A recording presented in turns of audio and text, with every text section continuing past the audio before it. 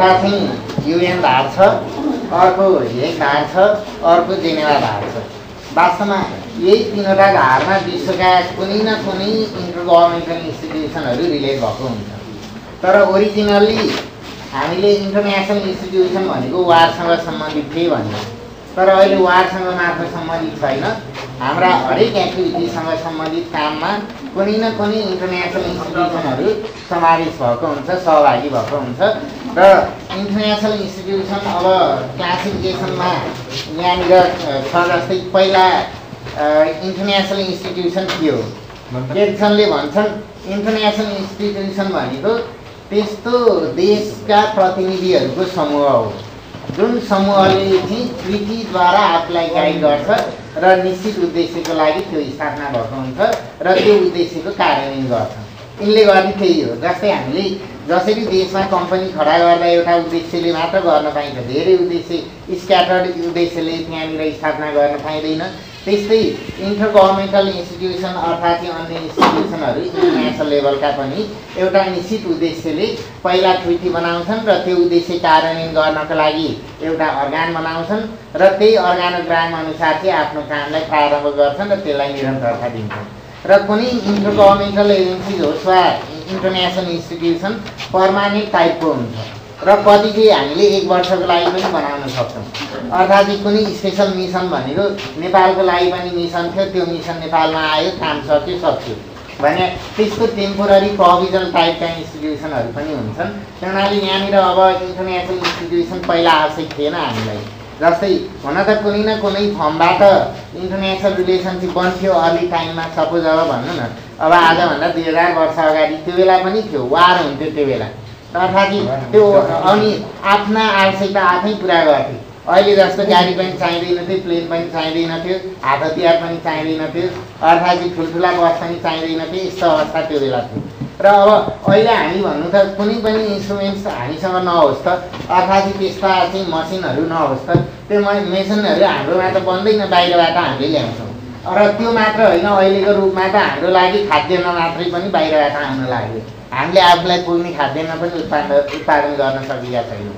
र त्यो मात्र होइन तपाईँको भनौँ न बिस तिस अर्बको हामीले मासु मात्र बाहिरबाट आयात गर्छौँ। त्यो यदि यो इन्टरनेसनल रिलेसन थिएन भने र इन्टरनेसनल इन्स्टिट्युसनबाट सहजता प्रदान गरेको अवस्था थिएन यस्ता ट्रिटी कन्भेन्सनहरू बनेका थिएनन् भने यो केही पनि सम्भव थिएन। हुनाले सुरुमा चाहिँ पोलिटिकल रिलेसन हुन्थ्यो। पोलिटिकल रिलेसन चाहिँ टेम्पोररी टाइपको हुन्थ्यो। प्रब्लम सल्भ गर्नको लागि एउटा प्रतिनिधि पठाइन्थ्यो ऊ फर्केर आउँथ्यो। त्यहाँनिर अहिले जस्ता पर्मानेन्ट एम्बेसीहरू पनि हुँदैनथे र त्यसपछि आफ्नो भनौँ न दूतको रूपमा काम गरेर आउँथ्यो। र पछि रियलाइज हुँदै जाँदाखेरि एम्बेसीहरू र एम्बेसीले मात्र पुगेन कन्सुलर अफिसहरू। र त्यसले मात्र भएन विश्वमा इन्टर इन्टरनेसनल इन्टर गभर्मेन्टल इन्स्टिट्युसनका देशका कार्यालयहरू इस्टाब्लिस गरेका छन् र यसले गर्दा एकैचोटि विश्वभरि काम गरेका छन् र त्यो काम भनेको हाम्रा हरेक एक्टिभिटीसँग कुनै न कुनै फर्मबाट चाहिँ काम गरेका हुन्छन्। तर यहाँ हामीले फोकस गर्ने विषय चाहिँ तपाईँको एउटा वारसँग सम्बन्धित छ जे जस्तै हेगहरूले चाहिँ मिन्स मेथड अफ वारका कुरा गर्छन् जुन हेगसँग सम्बन्धित इन्टरनेसनल इन्स्टिट्युसन छ। र दोस्रो धार भनेको तपाईँको जेनेवा धार। धारले चाहिँ अब युद्ध भइसकेपछि त्यो युद्धलाई कसरी मान्छेलाई कम असर बनाउने गर्ने बनाउने भन्ने कुरालाई हेर्छ। भइसक्यो भइसकेपछि त्यसको कन्सिक्वेन्सेसको नेगेटिभ कन्सिक्वेन्सेसलाई कम गर्नको लागि सहयोग पुर्याउँछ। जस्तै आइसिआरसी त्यसको इक्जाम्पल भयो। अनि अर्को युएन धारले के गर्यो? ह्युमन राइट्स प्रोटेक्सनको लागि विश्वभरि काम गर्छ। र ह्युमन राइट्स भनेको पिस टाइमको लागि सञ्चालन हुने चिजहरू हुन्। र अरू भनेको वार टाइमको ह्युमेनिटेरियन ल भनेको वार टाइमको लागि सञ्चालन हुने विषयवस्तु हुन्। तर अहिले चाहिँ अब त्यसलाई मात्र होइन अरू चिज पनि हेर्नु त इन्भाइरोमेन्टल ल छ। इन्भाइरोमेन्ट सम्बन्धी छुट्टै धारको विकास भइराखेको छ अहिले। तर अब अहिलेकै भनौँ न यो क्लाइमेट चेन्जको इस्युलाई चाहिँ अमेरिकी प्रेसिडेन्टले अहिले रिजेक्सन गरिरहेका छन्। भनेको किन भन्दा धेर कन्ट्रिब्युसन गर्नु पऱ्यो भन्ने हो तर त्यो कन्ट्रिब्युसन कम हुने बित्तिकै हामीसम्म त्यसको असर परेको हुन्छ। त्यहाँबाट तैपनि त्यस सम्बन्धी काम गर्ने इन्टरनेसनल इन्स्टिट्युसन छन् त्यसले हाम्रो फेवरमा काम गर्छन् हामी जस्तै देशको। भनेको यो इन्भाइरोमेन्ट रिलेटेड इस्युज त हाम्रो प्रब्लम होइन। अब त्यो मात्र होइन क्रिमिनल लमा हेर्नुहोस्। क्राइम अब विश्वको अब कहाँ बस्छ? अफ्रिकामा नेपालमा आएर काम क्राइम गर्छ। उहाँ बसेर नेपाल अर्थात् उहीँ बसेर नेपालमा क्राइम गर्छ। अमेरिकामा बस्छ यहाँ क्राइम गर्छ। नेपालको व्यक्ति उताको क्राइम गर्छ। भनेको यस्तो अर्गनाइज क्राइम छ विश्वमा चाहिँ धेरै देशका तिनभन्दा बेसी देशका मान्छेहरूको इन्भल्भ भयो भने अर्गनाइज क्राइम हुन्छ। त्यस्तो नेटवर्क ग्लोबल हुनसक्छ जसरी अहिले ग्लोबल इन्टरनेसनल इन्स्टिट्युसन छन् तिनीहरूको पर्मानेन्ट अफिस चाहिँ हुँदैन। त्यहाँनिर विश्वभरि क्राइम फैलाइराखेका हुन्छन्। र त्यसलाई पनि अर्थात् चाहिँ घटाउनको लागि त्यस्ता संस्थाहरूलाई कमजोर बनाउनको लागि पनि इन्टरनेसनल इन्स्टिट्युसनहरूले इम्पोर्टेन्ट रोल प्ले गरिराखेको हुन्छ। हरेक देशमा आएर। हुनाले हरेक देशमा चाहिँ त्यसका प्रतिनिधिहरू रहेको अवस्था देखिन्छ। त्यसले हामीलाई रोल देखाउँछ। तर अब त्यस कारण अब इन्टरनेसनल इन्स्टिट्युसनका केही क्यारेक्टर हामीले हेर्नुपर्छ। त्यो क्यारेक्टर के हो भन्दा पहिला यो ट्रिटी बेस हुनैपर्छ कस्टमरी हिसाबबाट अहिले इन्टरनेसनल इन्स्टिट्युसन खडा हुन सक्दैन। त्यो हुनाले पहिला ट्रिटी त्यसको निश्चित उद्देश्य हुनुपर्छ। जसरी अघि नै हामीले भने देशभरिको सङ्घ संस्था खोल्नको लागि निश्चित उद्देश्य चाहिन्छ र त्यस्तै किनकि विश्वका सब काम गर्छु भनेर यो सुपर गभर्मेन्ट होइन। एउटा उद्देश्यले इस्टाब्लिस भएको त्यस्ता संस्था हुन् त्यो निश्चित उद्देश्य हुन्छ र तेस्रोमा त्यसका आफ्नै अर्गानोग्राम हुनुपर्छ। अर्गानोग्राम कसरी हुन्छ? जस्तै प्रतिनिधिहरूको फोरम एउटा जेनरल एसेम्ब्ली भन्नुहोस् एसेम्ब्ली भन्नुहोस् कन्फरेन्स भन्नुहोस् कङ्ग्रेस भन्नुहोस् जे बनाएका पनि त्यो एउटा लेयर हुन्छ। त्यो भनेको प्रतिनिधि हो। कम्पनीमा सेयर होल्डरहरूको ग्रुप भने जस्तै हो। अर्थात् स्टेक होल्डरहरू डाइरेक्ट स्टेक होल्डरहरू हुन्। र त्यसपछि दोस्रोमा चाहिँ त्यहाँनिर त्यसको चाहिँ दोस्रो फेजमा विभिन्न काउन्सिलहरू इस्टाब्लिस हुन्छ। काउन्सिलले के गर्छ? सरकारको जस्तै काम गर्छ। जसरी देशमा चाहिँ एक्जिक्युटिभ काम गर्नको लागि सरकार हुन्छ इन्टरनेसनल इन्स्टिट्युसनमा नि त्यसको एक्जिक्युटिभ काम गर्नको लागि काउन्सिल बनेको हुन्छ। र त्यसको प्रतिनिधि एउटा त्यसको सिइओ नियुक्ति गरिन्छ। भने देशमा जस्तै। त्यहाँ चाहिँ अब कतै सेक्रेटरी जेनरल भन्नेलाई कतै चाहिँ अब अब भनौँ न जेनरल म्यानेजर भन्नेलाई हो भन्नेलाई। नाम फरक फरक दिएर फरक पर्दैन तर तिनीहरूको के रेस्पोन्सिबिलिटी हो के ड्युटी हो र डे टु डे रूपमा चाहिँ एडमिनिस्ट्रेटिभ कामहरू तिनीहरूले गर्छन् र अन्य एडमिनिस्ट्रेटिभ इन्स्टिट्युसन के अरे अर्गान छुट्टै बनाउन पनि मिल्छ। स्पेसल अर्को इन्स्टिट्युसनहरू स्पेसल अर्गान पनि बनाउन मिल्छ र ठुल्ठुला संस्थाले त्यस ठाउँमा जस्तै आफ्नै कोर्ट इस्टाब्लिस गर्छन्। जस्तै युएनको इन्टरनेसनल कोर्ट अफ जस्टिस आफ्नै कोर्ट छ। अर्थात् चाहिँ युरोपमा युरोपियन युनियनका आफ्नै कोर्ट छ। अर्थात् चाहिँ युरोपियन कोर्ट अर्थात् चाहिँ युरोपियन कन्भेन्सन ह्युमन राइट्सको आफ्नै कोर्ट छ। तर आफ्नै सक्नेले आफ्नै कोर्ट पनि बनाउँछन् तर नसक्नेले फेरि अन्य कोर्टहरूलाई नै रिकग्नेसन दिन्छ जसको छैन इन्टरनेसनल लेभलमा आएका अन्य अर्थात् त्यो छैन भने आर्बिट्रेसनबाट उनीहरूले डिस्प्युट रिजल्भ गराउँछन्। यो चाहिँ त्यसको एउटा क्यारेक्टरिस्टिक छ र तिनीहरूले आफ्नो काम चाहिँ सञ्चालन गरिराखेका हुन्छन्। किनकि काम गर्न सकेनन् भने तिनीहरू पनि हाम्रोमा जस्तै वाइनिङ अफ लिक्विडेसन कम्पनी जसरी खाली हुन्छ यस्ता संस्था पनि अन्त्य हुन्छ। तनाले यस्तो सम्भावना त्यो ठाउँमा चाहिँ रहेको देखिन्छ। त्यस कारण अब त्यस्ता संस्थाको स्कोप के हो? भन्दा स्कोप ह्युमन राइट्स हो अर्थात् हेरेर जेनेभाको स्कोप ह्युमेनिटेरियन ल। हो अर्थात् चाहिँ इकाओको स्कोप भनेको चाहिँ एयर ल एयर सेफ्टीका कुराहरू हुन्। अर्थात् भनौँ न एयरपोर्टको सुरक्षाका विषयवस्तुहरू त्यसको स्कोप अन्तर्गत पर्छ। युएनडिपीको भनौँ न स्कोप भनेको विकाससँग सम्बन्धित रहन्छ यस्ता संस्थाहरू हुन्छ अर्थात् चाहिँ सार्क बन्यो भने रिजनल कोअपरेसनका इस्यु आउँछ युरोपियन युनियन भन्नुभयो भने त्यो पनि इकोनोमिक विशेष गरी इकोनोमिक इन्टिग्रेसनमा जोड दिएको छ युरोपियन युनियनले ह्युमन राइट्स कार्डलाई छुट्टै रूपमा विकास गरेको छ युरोपियन सिस्टममा अब अमेरिकामा हेर्नुहुन्छ भन्दा इकोनोमिक्स पनि एउटैले हेर्ने ह्युमन राइट्स पनि एउटै संस्थाले हेर्ने। अर्थात् चाहिँ अर्गनाइजेसन अफ भनौँ न इन्टर अमेरिकन स्टेट्स बनाएका छन्। त्यो हुनाले यसको आफ्नो प्रयोजन हुन्छ। त्यो प्रयोजन अनुसारको काम गर्छन्। त्यसले यसको नेचरलाई देखाउँछ। अब संस्थाले चाहिँ हामीलाई नेपाललाई सिधै यो गर भनेर कोर्स गर्न सक्दैन। तर उनीहरूले एउटा पोलिसी बनाउँछन् मान्दैनन् भने उनीहरूले इन्टरनेसनल लेभलबाट एक्लाइदिन्छन् र पाउँदै आएको सुविधा कटौती गर्दै जान्छन्। र विभिन्न बेनिफिटहरूलाई चाहिँ कटौती गर्दै गरेपछि अन्तिममा ती राष्ट्रहरू त्यो फोरमबाट टाढा महसुस गर्न लागेपछि फेरि हामी त्यो मान्छौँ भनेर त्यो कुरा कम्प्लाई गरिराखेको अवस्था क्रिएट भएको हुन्छ। त्यस कारण अब यहाँनिर अब इन्टरनेसनल इन्स्टिट्युसन कति किसिमका छन् क्लासिफिकेसन हेर्नु त क्लासिफिकेसन हेर्दा हिजै भन्यो एउटा प्राइभेट इन्टरनेसनल इन्स्टिट्युसन छन् अर्को पब्लिक इन्टरनेसनल इन्स्टिट्युसन छन्। पब्लिकमा चाहिँ public international इन्स्टिट्युसनलाई inter governmental institution inter governmental agencies पनि भनिन्छ। इन्टर गभर्मेन्टल एजेन्सिज भनेको दुई वा कम्तीमा तिन हुनुपर्छ। तिनभन्दा बेसी देशहरूको फोरम हो। त्यसबाट इन्टर गभर्मेन्टल एजेन्सी इस्टाब्लिस हुन्छ दुई देशको फोरम भयो भने त्यो बाइल्याट्रल हुन्छ कन्ट्र्याक्चुअल हुन्छ। तिन देशभन्दा माथिको हो भने लिगलसम्म जान्छ। लिगल काम चाहिँ त्यसले एकम्प्लिस गर्न सक्छ। कन्ट्र्याक्टभन्दा माथि उठ्छ त्यही अब अर्का संस्था हुन्छन् ग्लोबल संस्था एउटा क्याटेगोरी अर्को रिजनल संस्थाहरू। ग्लोबल भनेको विश्वभरि नै काम गर्छन्। अहिले हामीसँग इन्डिपेन्डेन्ट देश एक सय तिरानब्बे छन् एक सय तिरानब्बे ठाउँमै काम गर्छ अर्थात् त्यस्तो संस्था ग्लोबल संस्था हो। युएन ग्लोबल संस्था हो आइसिआरसी ग्लोबल संस्था हो। त्यसपछि रिजनल संस्था अहिले हामीले कुरा गरेको सार्क रिजनल संस्था हो। अर्थात् तपाईँको ASEAN association of south east Asian nation तपाईँको रिजनल संस्था हो युरोपियन युनियन यु रिजनल संस्था हो अर्थात् चाहिँ अफ्रिकन युनियन रिजनल संस्था हो अर्थात् चाहिँ organisation of inter American states regional संस्था हो। त्यही त्यस्तो रिजनल संस्थाहरूको कन्सेप्ट पनि यहाँनिर राखेको हुन्छ।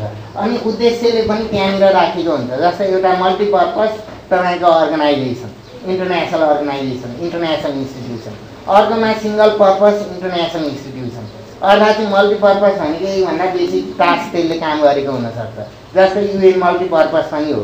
र अर्को स्पेसलाइज भनेको एउटा निश्चित गोलले इस्टाब्लिस गर्छ इकाओ भनेको सिङ्गल पर्पज हो उसको पर्पज अनि अर्को चाहिँ के हुन्छ भन्दा पर्मानेन्सीको हिसाबले। जस्तै लामो समयसम्म त्यो कन्टिन्यू एक्जिस्टेन्स रहन्छ भने त्यो permanent international institution UN SAARC लगायतका सबै पर्मानेन्ट इन्टरनेसनल इन्स्टिट्युसन अर्का भनेका तपाईँको एडक हुन्छ प्रोभिजनल टाइपको जस्तै नेपालमा आएको मिसन टेम्पोररी हो। यहाँ अफिस राख्यो गऱ्यो दुई तिन वर्ष पाँच वर्ष काम गऱ्यो आफ्नो टास्क पुरा गऱ्यो फर्क्यो। त्यस्ता प्रोभिजनल एउटा प्रोग्रामलाई सेन्ट्रिक बनाएर पनि त्यस्ता इन्स्टिट्युसनहरू खडा गरिन्छ।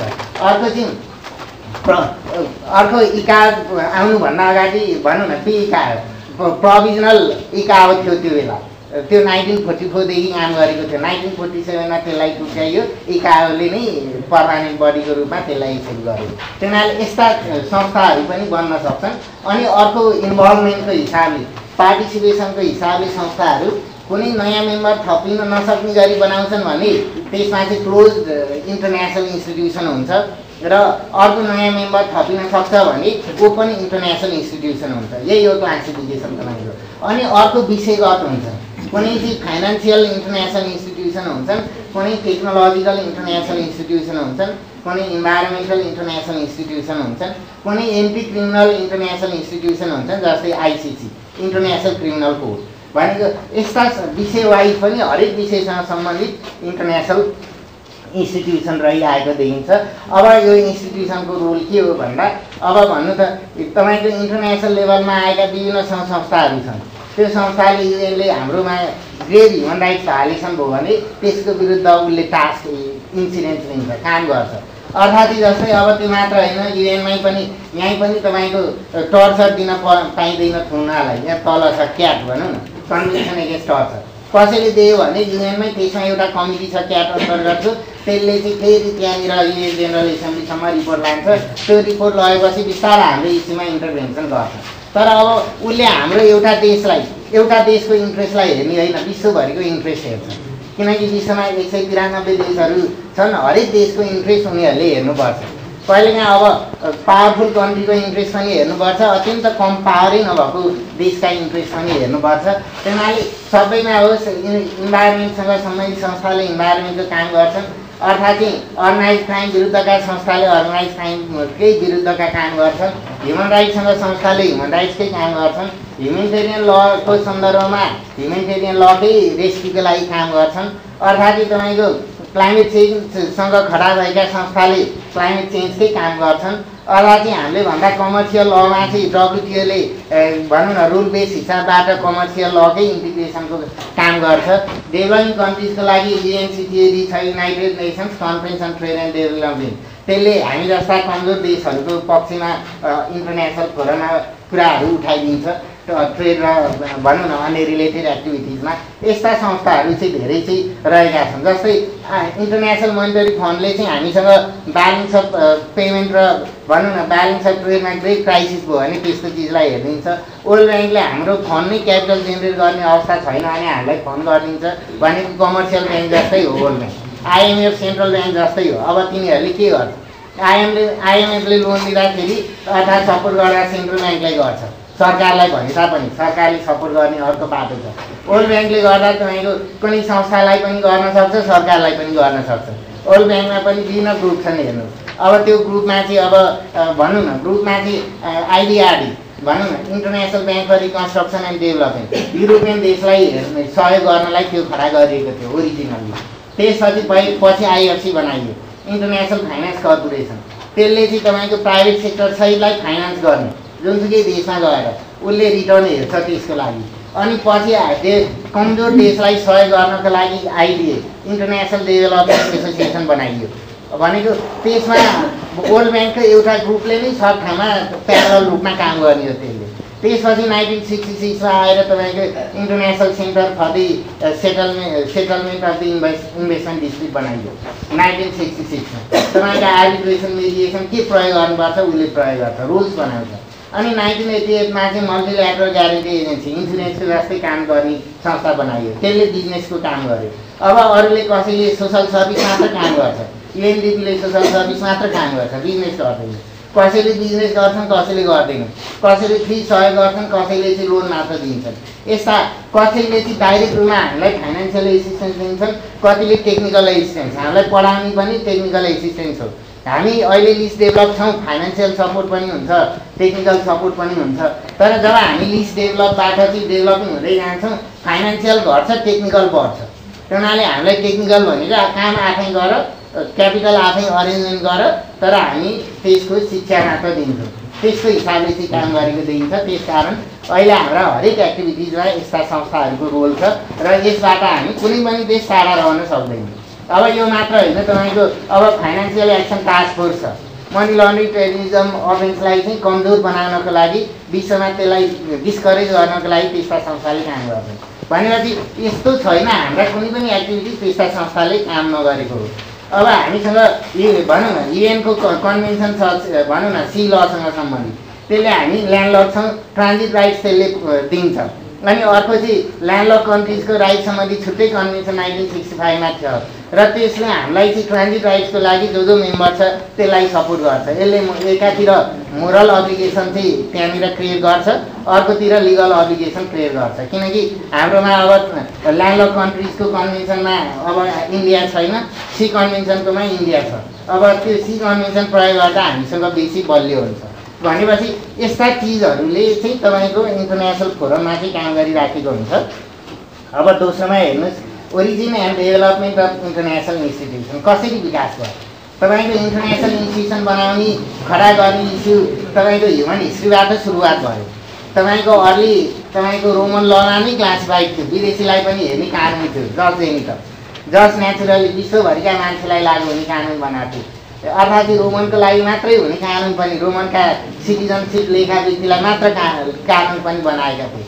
त्यो भनेको जज सिभिली थियो। त्यो बेलाकै सिस्टममा त्यो बेला एडअप टाइपको थियो तर सिक्सटिन फोर्टी एट विशेष गरी लिग अफ नेसन्स इस्टाब्लिस हुनुभन्दा अगाडि कन्फरेन्स सिस्टमले काम गर्थ्यो पहिला प्रब्लम हुन्थ्यो। प्रब्लमलाई सल्भ गर्नको लागि चाहिँ कन्फरेन्स आयोजना गरिन्थ्यो। त्यसमा हरेक देशका प्रतिनिधिहरू बोलाइन्थ्यो र त्यो प्रतिनिधिले त्यसलाई सेटलमेन्ट गर्थ्यो र अनि त्यसबाट ट्रिटी पास गर्थे अनि त्यो ट्रिटीलाई त्यो देशले रेटिफाई गर्थे। पहिला पहिला हाम्रोमा ट्रिटी एक्ट नहुँदाखेरि छुट्टै ऐनले। जस्तै हामीले चाहिँ यता वर्ल्ड ब्याङ्कको मेम्बरसिपलाई सुरु सुरुमा छुट्टा छुट्टै ऐन बनेका छन्। तर अहिले हामीसँग त्यस्ता चिजहरू ट्रिटी एक्टले काम गर्छ दुई हजार सत्ताइस सालपछि। भनेपछि यस्ता चिजहरू त्यो बेला त्यस्तो कन्फरेन्स सिस्टमले पास गर्थ्यो त्यसलाई छुट्टै ऐन बनाएर त्यसलाई कार्यान्वयन गरिन्थ्यो तर त्यो देशको पार्लियामेन्टले यसरी गर्नुपर्ने अवस्था अहिलेसम्म पनि रहेको देखिन्छ। त्यो हुनाले अब सिक्सटिन फोर्टी एटको धार्मिक युद्ध भनौँ न तिस वर्षसम्म चलेको धार्मिक युद्ध सिक्सटिन फोर्टी एटको वेस्टफालिया ट्रिटीले चाहिँ सेटल गर्यो। त्यो बेला दुईवटा धार थियो। त्यो बेला अब युरोपमा त अधिकांश त तपाईँको विभिन्न किसिमका थिए पहिला। अब तपाईँको जिउजहरू पनि थिए अर्थात् चाहिँ पछि क्रिस्चियनहरू पनि थिए। जिउजहरूलाई चाहिँ क्रिस्चियनहरूको प्रेडिसेसन मानिन्छ अघि त्योभन्दा अगाडिको। अनि त्यो बेला के गर्यो भन्दा रोमन एम्पायरले चाहिँ रिलिजियस राइट्स एक्सर्साइज गर्नलाई भनेको कन्ट्रोल गरिदियो अहिले हामीले सेकुलर बनाए जस्तै। कुनै कुनै राज्यलाई चाहिँ उसको अम्रेला मिलिरहेका कुनैलाई फ्री छोडिदियो कुनैलाई कन्ट्रोल गर्यो। अनि क्याथोलिक क्रिस्चियनिजमलाई कतिले सपोर्ट गरे प्रोटेस्टेन्टलाई चाहिँ रिजेक्सन गर्दै गरे पछिल्लो समयमा। अनि त्यो जाँदाखेरि चाहिँ के गरे भन्दा कुनैले चाहिँ त्यो रेलिजन फलो गर्नेलाई सपोर्ट गरे अनि त्यो रेलिजनलाई क कटेल गर्नेलाई कुनैले सपोर्ट गरे। दुई भागमा बाँटे अनि एउटाले अर्कोलाई अब पोलिटिक्स मिक्सियो रेलिजनमा अनि स्टेटको पावर मिक्स भयो त्यही ठाउँमा। र त्यो भएपछि तिस वर्षसम्म कसैले त्यसलाई सेटल गर्न सक्दैन एउटाले त्यसलाई रिजल्भ गर्न खोज्दा अर्कोले उक्साइदिइहाल्थ्यो र त्यसलाई चाहिँ पर्मानेन्ट रूपमा चाहिँ तपाईँको सिक्सटिन फोर्टी एटमा रिजल्भ गरियो र त्यो बेला नै तपाईँको धेरै मान्छे मरेका छन्। धेरै मान्छे। त्यस कारण अब भनौँ न भन् त्यो चिजमा चाहिँ भनौँ न असी लाख प्लस मान्छेहरू मरेका छन्। भनेको त्यो भनेको धेरै थियो त्यो बेलाको लागि। त्यस्तो क्राइमलाई चाहिँ रिजल्भ गर्नलाई यसले सफल भयो र त्यो बेला नै सेपरेसन अफ पावर चाहिन्छ। से इन्टरनेसनल लेभलमा नै। एउटै देश पावरफुल हुनु हुँदैन त्यो बेलादेखि थियो चेक ब्यालेन्स चाहिन्छ। तपाईँको विभिन्न आइडियोलोजी विभिन्न रिलिजन विभिन्न कन्सेप्ट हुन सक्छ त्यो बेला चेक ब्यालेन्स चाहिन्छ। त्यो बेला नै थियो। जर्मनका पाँच सय पचासभन्दा बेसी नेसन स्टेटलाई इन्डिपेन्डेन्ट घोषणा गरिदियो अनि त्यो बेलाको लागि अब पछि अकुपेसनका छुट्टै थियो। स्विजरल्यान्डलाई इन्डिपेन्डेन्ट घोषित गरिदियो। नेदरल्यान्डलाई भनौँ न इन्डिपेन्डेन्ट घोषित गरिदियो। पछि पछिको इस्युमा चाहिँ यस्ता धेरै काम यसले काम गर्यो र अनि यसबाट विभिन्न ट्रिटी कन्भेन्सनहरू पास हुँदै गए र कतिले त्यसलाई कार्यान्वयनको मोनिटरिङ गर्ने कुनै संस्था थिएन फेरि। तपाईँको कुनै पर्मानेन्ट अर्गनाइजेसन थिएन तपाईँको प्रब्लम आयो भने रिजल्भ गर्नको लागि अर्को प्रब्लम चाहिँ खडा हुन्थ्यो। र त्यसपछि अठार सय पन्ध्रमा विभिन्न सानातिना कन्फरेन्सहरू बने अठार सय पन्ध्रमा विशेष गरी नेपोलियनको उदय चाहिँ विशेष गरी सेभेन्टिन नाइन्टी टूबाट भयो। सेभेन्टिन नाइन्टी भने पनि हुन्छ। नाइन्टी फाइभमा उनले फुल पावरले युरोप लगभग जित्न लागेका थिए। वाटरलुको वारपछि उनी कमजोर भए। तपाईँको जब त्यो कमजोर भएपछि विशेष गरी अठार सय चौधमा नेपोलियन कमजोर भए। कमजोर भएपछि अरू त्यो बेला सुसुप्त रहेका देशहरू दुर्मुराए। र जुर्मुरायो भनेको त्यो बेला तिनवटा देशहरूले एउटा होली अलायन्स बनायो पवित्र सङ्गठन। त्यो भनेको के हो? धर्म संस्कृतिको रक्षा गर्ने। अर्थात् चाहिँ मानवता विरुद्ध नजाने युद्ध नगर्ने। भन्थे सिद्धान्त त। तर हिडेन रूपमा सबले युद्ध गर्थे र आफ्नो प्रभाव जमाउन खोज्थे। नेपोलियनको ठाउँ आफूले लिन कोसिस गर्थे। र त्यही अठार सय पन्ध्र अरानमा नै होली अलायन्स बनेको थियो। त्यो बेला भेना कन्फरेन्स अठार सय पन्ध्र नै बन्यो त्यसले धेरै ट्रिटी पास गर्यो। त्यही ह्युमेनिटेरियन ल सम्बन्धी ट्रिटीहरू पनि पास गर्यो अनि त्यो तिनवटा देश विशेष गरी अस्ट्रिया पर्सिया रसिया भनेको तिनीहरूले चाहिँ होली अलायन्स बनाए। र उनीहरूलाई डर थियो। विशेष गरी French revolution seventeen eighty nine थियो। फ्रान्समा जस्तै आफूमा पनि युद्धको भन्दा आफू कमजोर हुन्छ। त्यो त्यो कमजोरीलाई कसरी हटाउने भन्दा अलायन्स बनाएपछि त आफूलाई विरुद्ध आउन सकेन।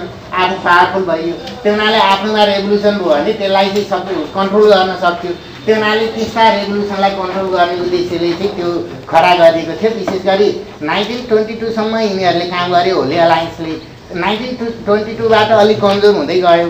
नाइन्टिन थर्टी फाइभसम्म अलिअलि अस्तित्व थियो।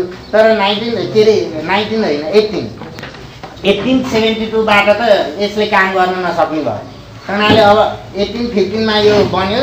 तपाईँको एट्टिन नाइन्टिनमा पहिलो कन्फरेन्स बनायो यसले त्यसपछि एट्टिन ट्वेन्टीमा गरेन twenty one twenty two twenty टूसम्मका तेस्रो कन्फरेन्स एकदम पावरफुल भयो। तर त्यसपछि यसले राम्रोसँग फङ्सनिङ गर्न सकेन। किनकि पर्सियाको राजकुमारको आफ्नो इन्ट्रेस्ट थियो तपाईँको रसियन राजाको राजकुमारको आफ्नो इन्ट्रेस्ट थियो पर्सियाको आफ्नो इन्ट्रेस्ट थियो। त्यो इन्ट्रेस्ट नै त्यहाँ मेल हुनै सकेन। अनि त्यही ठाउँमा यही होली अलायन्समा पछि के भयो भन्दा तपाईँको युके थप्यो। अनि पछि युकेको साथसाथमा फ्रान्स पनि थपे त्यसैमा अब युके थपेपछि त्यो क्वाड्रपल एजेन्सिज भन्यो संस्था भन्यो अब त्यसपछि फ्रान्स थ थपेपछि कन्सर्ट अफ युरोप भन्यो। तर त्यसैको नाम अन्तिममा तपाईँको युद्ध नगर्ने भनेको थिएँ पछि युद्ध गर्न लागे यिनीहरूले। विशेष गरी रसा पर्सिया र अस्ट्रिया। त्यसपछि युकेले मेम्बरसिप झिकिदियो पछि फ्रान्सले पनि मेम्बरसिप झिकिदियो। अन्तिममा त्यो होली अलायन्सका तिनवटा नै वास्तवमा त्यही कन्सर्ट अफ युरोप बन्यो। त्यही नै चाहिँ पछाडि तपाईँको यो भनौँ न अर्को इस्युमा चाहिँ काम गरेको क्वाड्रपल एजेन्सी त्यही भन्यो। त्यही घट्ने बढ्ने घट्ने बढ्ने भयो। कतातिर उनीहरू क्रिस्चियनिजमलाई फ्लोरिस गर्थे तर यो तिनवटा देखे तापनि एउटै जस्ता हुन्थे। होली अलायन्स तिनवटाको बनायो तपाईँहरूले क्लियर हुनलाई अस्ट्रिया पर्सिया रसिया। पछि युके थप्यो क्वाड्रपल एजेन्सिज बन्यो।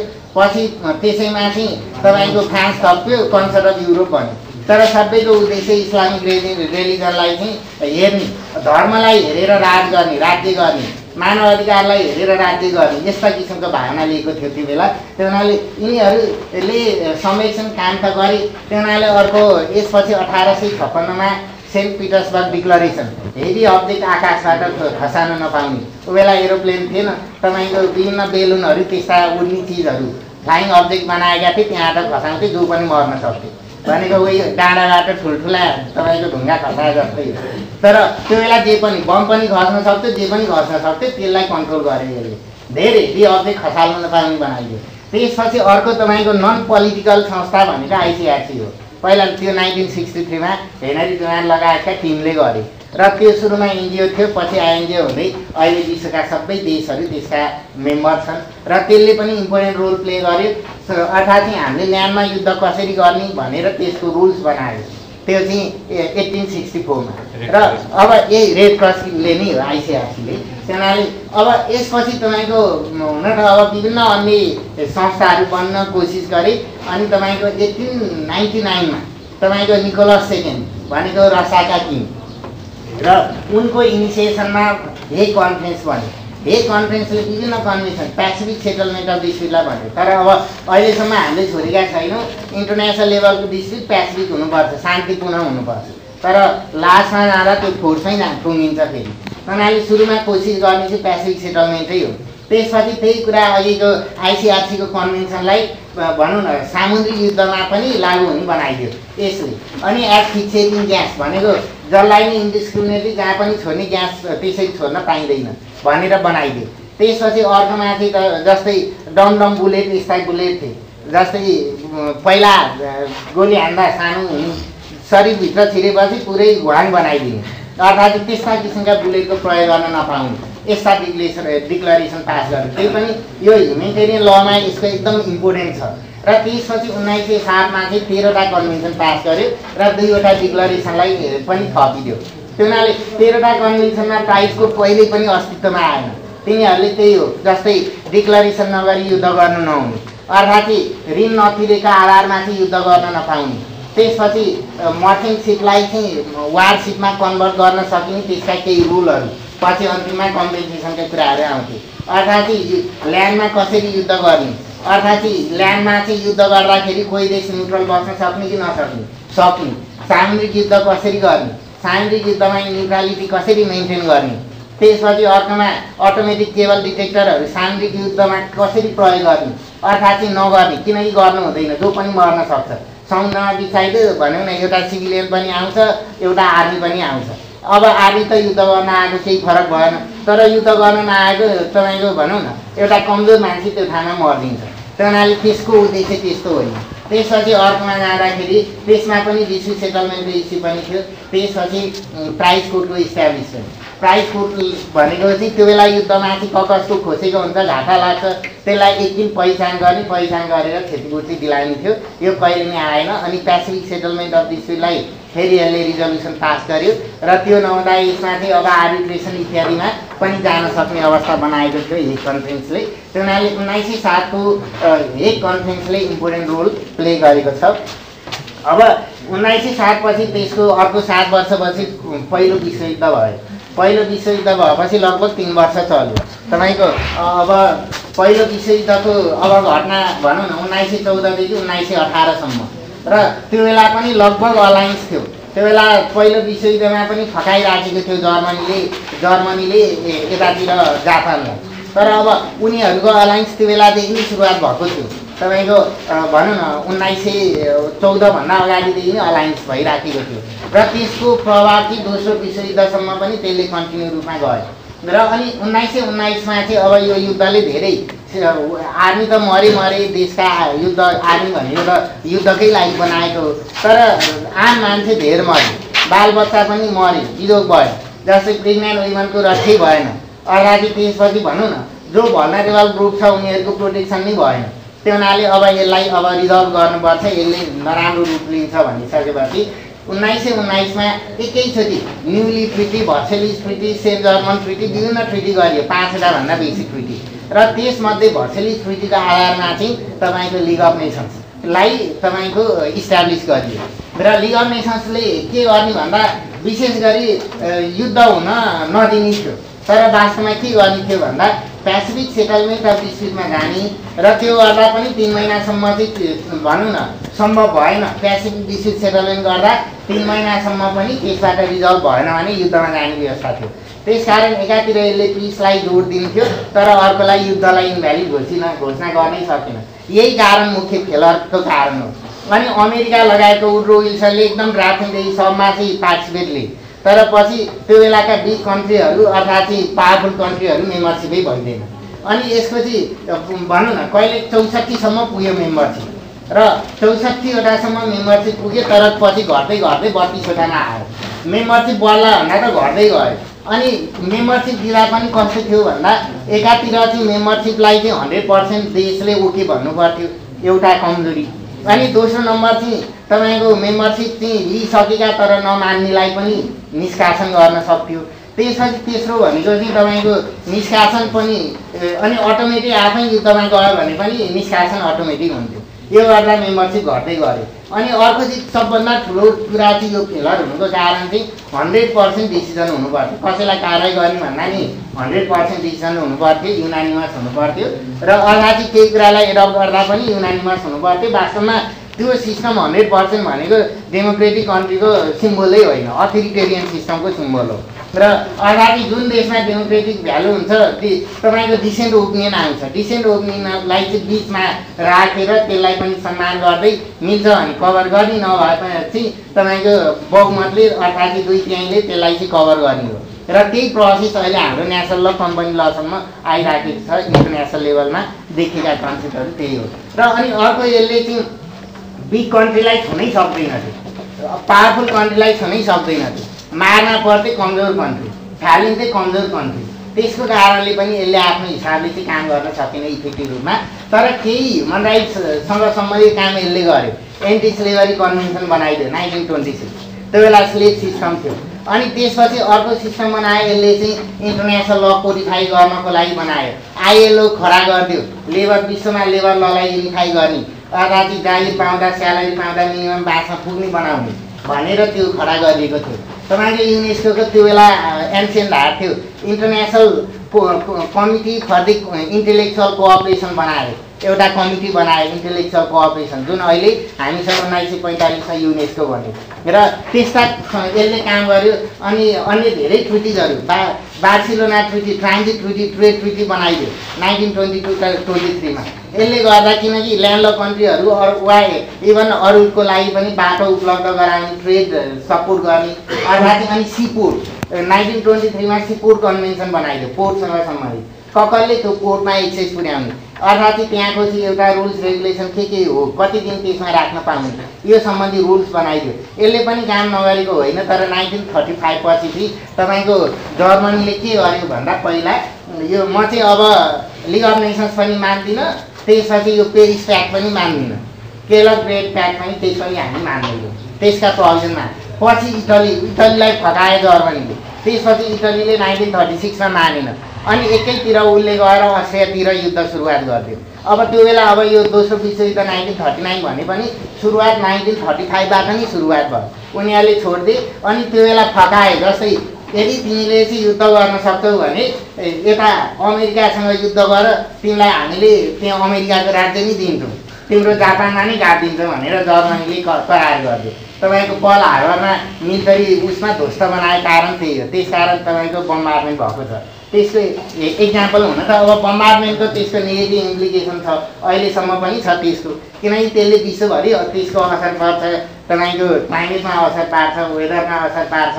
गर्दा चाहिँ हाम्रो एटमोस्फियरमा असर पार्छ त्यसको हार्म त हामीलाई मान्छेलाई हुन्छ नै त्यस्तो चिजहरूलाई त्यो बेला गरेको छ र नाइन्टिन फोर्टी वानबाट चाहिँ फर्मल दोस्रो विश्वयुद्ध सुरुवात भयो कहिलेसम्म रह्यो भन्दा दोस्रो विश्वयुद्धमा दुईवटा ग्रुप थिए एउटा लाइट फोर्स अर्कोमा चाहिँ एक्सिस फोर्स एक्सिस फोर्स भनेको चाहिँ कसलाई मान्यो भन्दा तपाईँको जर्मनीको ग्रुपलाई एक्सिस फोर्स बनाइयो र त्यसलाई चाहिँ अनसिभिलाइज कन्ट्री भन्यो। किनकि हिस्ट्री भनेको जित्नेको पनि हो एक हिसाबले। त्यो हुनाले अर्कोमा चाहिँ यसलाई फोर्स युएसएसआरले लिड गरेको थियो। त्यसमा युएसए युके अर्थात् भनौँ न फ्रान्स त्यसका मेम्बर थिए सपोर्ट गर्ने अरू देशहरू थिए र उनीहरूले फर्मल्ली हिटलरले सुसाइड गरे लगभग जुथे जित्नको लागि धेरै स्ट्राटेजी अन्डरग्राउन्डदेखि तपाईँको स्पेसदेखि भनौँ न एयरदेखि ल्यान्डसम्मका वारहरू भएका छन्।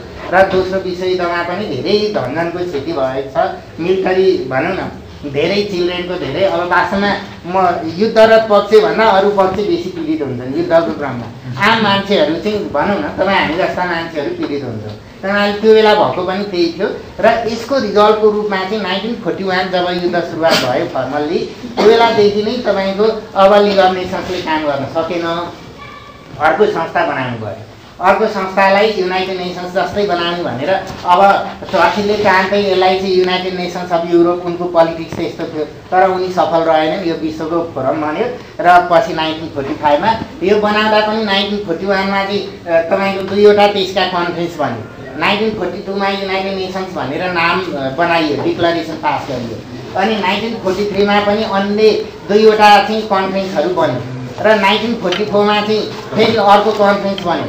र नाइन्टिन फोर्टी फाइभमा फेरि दुईवटा कन्फरेन्स पछि सा एउटा याल्टामा अर्को सान फ्रान्सिस्कोमा कन्फरेन्स बन्यो।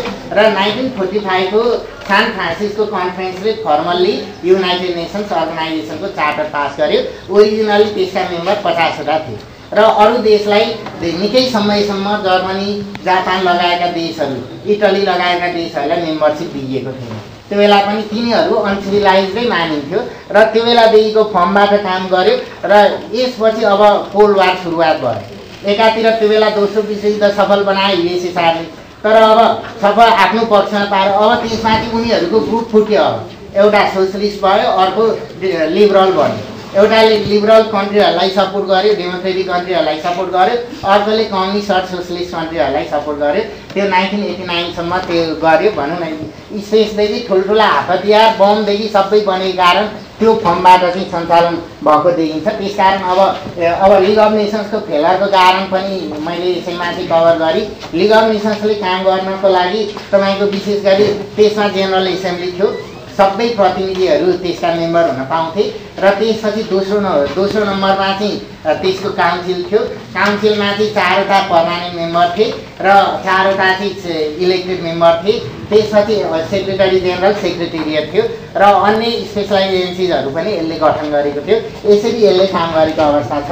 अब तेस्रोमा हेर्नुहोस् युनाइटेड नेसन्स युनाइटेड नेसन्सको ब्याकग्राउन्ड अघि नै भनिसकेँ मैले हिस्टोरिकल ब्याकग्राउन्ड कसरी युएन बन्यो युएनको पछाडिको पोलिटिक्स के हो?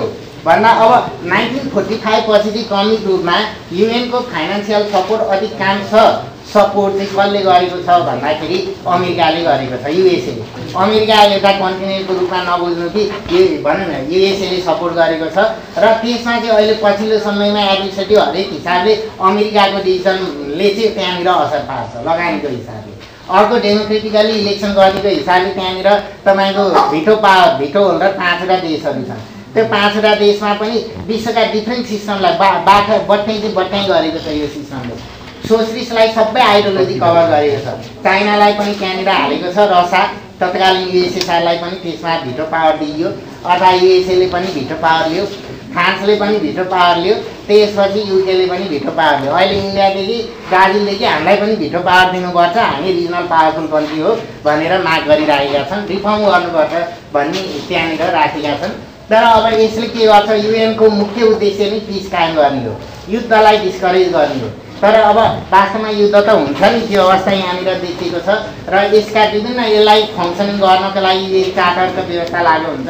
युएन चार्टरमा नै छ जेनरल एसेम्ब्ली यसको भनेको विश्वका प्रतिनिधिहरू त्यसमा हुन्छन् जेनरल एसेम्ब्लीमा र त्यसले पोलिसी पास गर्छ ट्रिटी पास गर्छ ट्रिटीका रिपोर्टहरू पास गर्छन् डिसिजन गर्छ बजेट गर्छ बजेट पास गर्छ एक्सेट्रा भनेको हाम्रोमा जसरी पार्लियामेन्टले काम गर्छ जेनरल एसेम्ब्लीले त्यसरी काम गर्छ। त्यसपछि दोस्रोमा जाँदा अहिले हामीसँग एक सय तिरानब्बे देशमध्ये एक सय तिरानब्बे देशकै प्रतिनिधित्व त्यहाँनिर हुन्छ जेनरल एसेम्ब्लीमा त्यो हुनाले दोस्रोमा अब यसले नि हो पहिला हन्ड्रेड पर्सेन्ट युनानिमस डिसिसन कोसिस गर्छ। त्यो नभएपछि इलेक्सनमा जान्छ दुई तिहाई बेस नभए सिम्पल मेजोरिटीमा गएर डिसिसन गर्ने। र यसको प्रयोजन त्यही छ। त्यसपछि अर्को सेक्युरिटी काउन्सिल सेक्युरिटी काउन्सिलमा चाहिँ अब मेम्बरसिप भनेको पाँचवटा भिटो होल्डर छन्। अर्का चाहिँ तपाईँको दसवटा चाहिँ इलेक्टेड छन्। र इलेक्टेड पनि विश्वका सबै जियोग्राफीलाई कभर हुने गरी त्यहाँनिर इलेक्सन हुन्छ। र इलेक्सन गर्दा त्यो देशको ह्युमन राइट्स सिचुएसनलाई हेरेर देशले बार्गेनिङ गर्छन् पोलिटिक्स गर्छन्। र त्यसमा भिटो होल्डर छन्। भिटो भनेको चाहिँ कुनै एउटा डिसिसन आउँछ एउटा मेम्बरले सबै पाँचवटा मेम्बरले ओके गर्नुपर्छ। र एउटा मेम्बरले नाइ भन्यो भने भिटो लाग्यो। अब त्यसैलाई त्यही प्रस्तावलाई फेरि अलिअलि चेन्ज गरेर ल्याइन्छ। चेन्ज गरेर ल्याएर फेरि त्यही प्रस्ताव ल्याउँदा अर्कोले भिटो लगाइदियो भने त्यो डबल भिटो हुन्छ। डबल भिटो भएपछि त्यसको प्रयोजन सक्यो भिटोको कारणले धेरै युएनका डिसिजन नै काम गर्न नसक्ने अवस्था भयो। त्यो नर्थ साउथ कोरियाको इस्युमा। त्यसपछि त्यही इस्युमा चाहिँ युनाइटेड पिस रिजोल्युसन पास गरे जेनरल एसेम्ब्लीले अब सेक्युरिटी काउन्सिलले कहिलेकाहीँ काम गर्न सक्दो रहेनछ त्यस कारणले अब युएनले पनि एसेम्ब्लीले पनि काम गर्न सक्छ। किनकि हरेक काम गर्दा यस्ता इस्युमा चाहिँ पहिला से सेक्युरिटी काउन्सिलले रेकमेन्डेसन गर्नुपर्छ अनि मात्र जेनरल एसेम्ब्लीले त्यसलाई एक्सेप्ट गर्ने रब गर्ने। त्यस्तो प्रोभिजन युएनको सिस्टम अन्तर्गत रहेको देखिन्छ। त्यसपछि अर्को संस्था भनेको तपाईँको economic and social council. Economic and social काउन्सिलले वास्तवमा डेभलपमेन्ट ह्युमन राइट्ससँग सम्बन्धित काम गर्छ। र वास्तवमा हामीसँग विभिन्न कन्भेन्सन छन्। विभिन्न कन्भेन्सन अन्तर्गत कमिटीहरू बनेका छन्। त्यो कमिटीहरूले चाहिँ आफ्नो रिपोर्ट कसलाई दिन्छ? तपाईँको यही भनौँ न इकोनोमिक एन्ड सोसल काउन्सिललाई दिन्छ। स्पेसलाइज एजेन्सी जति छन् यसैको मातहतमा काम गर्छन्। र वास्तवमा हिजो बाइसवटा भन्नुभएको थियो घटिसकेका छन् सब स्पेसलाइज एजेन्सी। युएनले चाहिँ तपाईँको कहिले घटबड गराइराखेको हुन्छ। स्पेसलाइज एजेन्सी कहिले तोक्ने कहिले नतोक्ने कहिले छोडिदिने यस्तो अवस्था पनि त्यहाँनिर राखिराखेको हुन्छ र इकोनोमिक एन्ड सोसल काउन्सिलमा चाहिँ तपाईँको छ चौन्न मेम्बर छन्। र यो मेम्बरसिप गर्दा विश्वका सबै कर्नरबाट सबै आइडियोलोजीबाट सबै रिजनबाट प्रतिनिधित्व गर्ने गरी गरिन्छ। र यसको प्रयोजन भनेको त्यही छ human rights development cooperation technical assistance सबै विषय यहाँबाट काम हुन्छ। र त्यसपछि अर्को फर्ममा जाँदाखेरि तपाईँको ट्रस्टिसिप काउन्सिल। ट्रस्टिसिप काउन्सिलमा चाहिँ यो अघि लिग पनि थियो। लिग के भयो भन्नुहुन्छ भन्दा म्यान्डेट कन्ट्रीहरू थिए म्यान्डेट कन्ट्री भने आफै काम गर्न नसक्ने छुट्टै देश चाहिँ नभएका इन्डिपेन्डेन्ट अटोनोमस नभएका र त्यस्ता देशहरूलाई चाहिँ अब किनकि अर्का देशले कन्ट्रोल गर्थ्यो। अर्को पावरफुल देशले पावरफुल कन्ट्रीले त्यसलाई नहेकोस्। त्यहाँका जनताको मिनिमम ह्युमन राइट्सको प्रोटेक्सन होस् भनेर त्यसलाई चाहिँ ट्रस्टको रूपमा चाहिँ त्यसको प्रोटेक्सन गर्ने जिम्मा लिग अफ नेसन्सले लिएको थियो। त्यसैलाई नै कन्टिन्यू फर्ममा चाहिँ युएनले पनि त्यसलाई एक्सेप्ट गरेको छ। वास्तवमा यसले धेरै हदसम्म काम गरिसकेको छ। तर अझै पनि केही देश केही रिजनहरू छन् जुन इन्डिपेन्डेन्ट भएको छैन अर्को देशको मार्फतमा काम गरेका छन् तर त्यसलाई पनि यसले चाहिँ हेरि चाहिँ राखेको छ। नर्मल्ली यसले आफ्ना अधिकांश नाइन्टी पर्सेन्ट काम चाहिँ एकम्प्लिस गरिसकेको छ। र त्यसपछि अर्कोमा भनौँ न सेक्रेटरी जनरल विशेष गरी उनी चाहिँ युएनका एडमिनिस्ट्रेटिभ हेड हुन्। जसरी हामीले एउटा ब्याङ्कको सिइओ हुन्छ चाहिँ देशको प्रधानमन्त्री हुन्छ चाहिँ कार्यकारी राष्ट्रपति हुन्छ। त्यसै गरी उनी चाहिँ सि त्यहाँको चाहिँ एडमिनिस्ट्रेटिभ हेर्ने चाहिँ त्यसका सेक्रेटरी जनरल हुन्छन् र पाँच वर्षको लागि नियुक्ति गरिन्छ डबल नियुक्ति हुनसक्छ त्यो हुनाले डबल नियुक्ति सबैको अब त्यही हो प्रोसेस नियुक्तिको। सेक्युरिटी काउन्सिलले सबले रिक रेकमेन्डेसनमा जेनरल एसेम्ब्लीले पास गर्नुपर्छ। इलेक्सन हुन्छ। र त्यहाँबाट पास गरेपछि त्यसमा नियुक्ति हुन्छ। र यस फर्मबाट तपाईँले युएनले काम गरेको छ। वास्तवमा अहिलेसम्मको लागि विश्वका most powerful global agencies powerful एजेन्सिजमा एउटा युएन हो र अर्को आइसिआरसी पनि हो। ह्युमेटेरियन लको हिसाबले आइसिआरसी हो ह्युमन राइट्सको हिसाबले युएन नै हो र यो यतिको पावरफुल संस्था अरू छैन। तर यसले मिलिटरी सेक्रेटेरिएटै बनाउने योजना छ। थियो कमिटी बनाएको छ। तर अहिले चाहिँ विश्वका देशसँग मागेर शान्ति सेनाको रूपमा अर्को ठाउँमा पठाउँछ। तर त्यो बेला छुट्टै यसको कमान्डर कमान्डर इन चिफै नियुक्ति गरेर चाहिँ छुट्टै बनाउने उद्देश्य राखेको थियो। त्यो चाहिँ अहिलेसम्म पर्मानेन्ट अर्गान जस्तो चाहिँ बन्न सकेको छैन। यदि त्यो बन्यो भने यो ग्लोबल सरकार हुन्छ फेरि। त्यसमा चाहिँ अहिलेसम्म चाहिँ यो सरकार होइन तपाईँको सुपर गभर्मेन्ट होइन। तर यदि मिलिटरी र त्यस्तो पावर सबै लियो भने फेरि यो आफैमा ग्लोबल सरकार हुन्छ। र त्यस्तो अवस्था चाहिँ अहिलेसम्म कार्यान्वयन गरेको अवस्था छैन र अर्को यहाँनिर एउटा छुट्या छ इन्टरनेसनल कोर्ट अफ जस्टिस त्यो पनि यसको अर्गान नै हो। युएनलाई राय दिने कानुनी राय गर्ने इन्टरनेसनल ल सम्बन्धी राय दिने काम इन्टरनेसनल कोर्ट अफ जस्टिसले गर्छ। युएनका मेम्बरलाई राय दिने काम पनि इन्टरनेसनल कोर्ट अफ जस्टिसले चाहिँ हेर्छ अनि युएनका मेम्बर कन्ट्रीका डिस्प्युट सुन्न सक्छ। युएनका युएन मिसेका डिस्प्युट यसले सुन्न सक्छ। अनि अर्कोमा अब यहाँ ठाउँमा इन्टरनेसनल कोर्ट अफ जस्टिसले तपाईँहरूलाई एकदम यसको जुरिस्टिक्सन के हो भनेर जसले पनि क्वेसन गर्छ। जुरिस्टिक्सन विशेष गरी इन्टरनेसनल कोर्ट अफ जस्टिस भनेको यो भनौँ न युएनको कोर्ट हो। युएन मिसिएका युएनका कन्ट्री मिसिएका इन्टरनेसनल ल मिसिएका जस जसमा युएनको इन्भल्भमेन्ट छ र त्यस्ता लको कार्यान्वयन गर्नको लागि इन्टरनेसनल कोर्ट अफ जस्टिसले अर्थात् त्यस्ता मुद्दाहरू आफूले सुनवाई गर्छ र त्यो सुनवाई गर्दा उसको जुरिस्टिक्सन के हुन्छ? भन्दा एउटा चाहिँ तपाईँको कम्पलसरी जुरिस्टिक्सन कम्पलसरी भनेको के हो भन्दा कुनै ट्रिटी कन्भेन्सनमा नै देशहरूले अब म इन्टरनेसनल कोर्ट अफ जस्टिसको क्षेत्राधिकारलाई कार्यान्वयन गर्छु। हाम्रा द्वन्द्व हाम्रा झगडालाई आइसिजेले फैसला गरे अनुसार गर्छु भनेर उनीहरूले के गर्छन्? सिग्नेचर गर्छन्। र त्यसमा चाहिँ ऐन कानुनले बाँधेका हुन्छन्। र त्यस्तो जुरिस्टिक्सनलाई कम्पलसरी जुरिस्टिक्सन र दोस्रो जुरिस्टिक्सन भनेको के हो भन्नुहुन्छ भन्दा एडल्ट जुरिस्टिक्सन त्यस्तो मेम्बरसिप छैन तर एउटा केसमा चाहिँ अब हामी यो केस हामीले सेटलमेन्ट गर्न सकेनौँ। अब युए युएनको इन्टरनेसनल कोर्ट अफ जस्टिसमा लैजाउँ उसले जे भन्छ त्यो अनुसार गरौँ। हामी जस्ता कमजोर देशको लागि त त्यो झन् सपोर्टिभ हुन्छ। स्ट्रङ देशलाई चाहिँ फेरि यसले एडभर्स इफेक्ट पार्न नि सक्छ। तपाईँको युएसएलाई नै आछु आछु बनाएको छ इन्टरनेसनल कोर्ट अफ जस्टिसले बेला बेलामा। त्यो हुनाले यस्तो सिस्टमहरू यहाँनिर देखिन्छ र अनि अर्कोमा जाँदाखेरि तपाईँको एडल्ट पछि तपाईँको जुरिस्ट्रिक्सन भनेको चाहिँ भोलन्टरी जुरिस्ट्रिक्सन एडल्ट चाहिँ कुनै एउटा विषयमा लिने हो भोलन्टरी भनेको चाहिँ कुनै निश्चित पिरियडसम्म चाहिँ हामी युएनको एक्सेप्ट गर्ने भनेर दुइटै तर संयुक्त रूपमा नै एक्सेप्ट गर्ने हो आइसिजेको इन्टरनेसनल कोर्ट अफ जस्टिसको जुरिस्ट्रिक्सनलाई एक्सेप्ट गर्ने हो र अनि त्यसपछि अर्को एडभाइजरी जुरिस्ट्रिक्सन एडभाइजरी भनेको कसले हामीले उसले कानुनी राय दिन्छ कानुनी राय दिन्छ। युएनलाई दिन्छ स्पेसलाइज एजेन्सिजलाई युएनका स्पेसलाइज एजेन्सिजलाई दिन्छ युएनका मेम्बरलाई दिन्छ। तर अरूलाई दिँदैन। म हामी एउटा व्यक्तिले माग्दा दिँदैन। तर राज्यले चाहिँ मेम्बरसिप युएनको मेम्बर भएको कारणले माग्दा दिन सक्छ तर उसँग डाइरेक्ट इन्भल्भ भएको हुनुपर्छ। र जस्तै हामीले नाइन्टिन नाइन्टी सिक्समा चाहिँ डब्लुएचओले न्युक्लियर वेपनसँग सम्बन्धित विषयमा चाहिँ राय मागेको थियो तर दिएन। उसले तिमीलाई दिन मिल्दैन। यसको तिम्रो अधिकार क्षेत्र होइन। अधिकार क्षेत्र थियो भने फेरि दिन्छ। त्यो हुनाले हामीले माग्दा वा स्पेसलाइज एजेन्सिजले माग्दा पनि त्यही कुरा चाहिँ लागु हुन्छ। र अब यहाँनिर इन्टरनेसनल कोर्ट अफ जस्टिसमा चाहिँ एकदम पन्ध्रवटा मेम्बर हुन्छन् त्यसमा चाहिँ जजहरू हुन्छन्। नौ वर्षको लागि नियुक्ति गरिन्छ। विश्वका सबै लिगल सिस्टमबाट प्रतिनिधित्व हुने गरी गरिन्छ। सबै लिगल सिस्टमको प्रतिनिधित्व भनेको कमन ल पनि प्रतिनिधित्व हुन्छ सिभिल ल पनि प्रति प्रतिनिधित्व हुन्छ सोसलिस्ट ल पनि प्रतिनिधित्व हुन्छ। विभिन्न धार्मिक कन्ट्रीहरूको पनि भनौँ न रिलिजियस कन्ट्रिजहरू छन् त्यो ठाउँको पनि प्रतिनिधित्व हुन्छ। र त्यो गर्दाखेरि यसले इफेक्टिभ रूपमा काम गर्छ। अनि हरेक देशबाट कम्तीमा दुईजना रेकमेन्डेसन गरिन्छ इलेक्सन हुन्छ।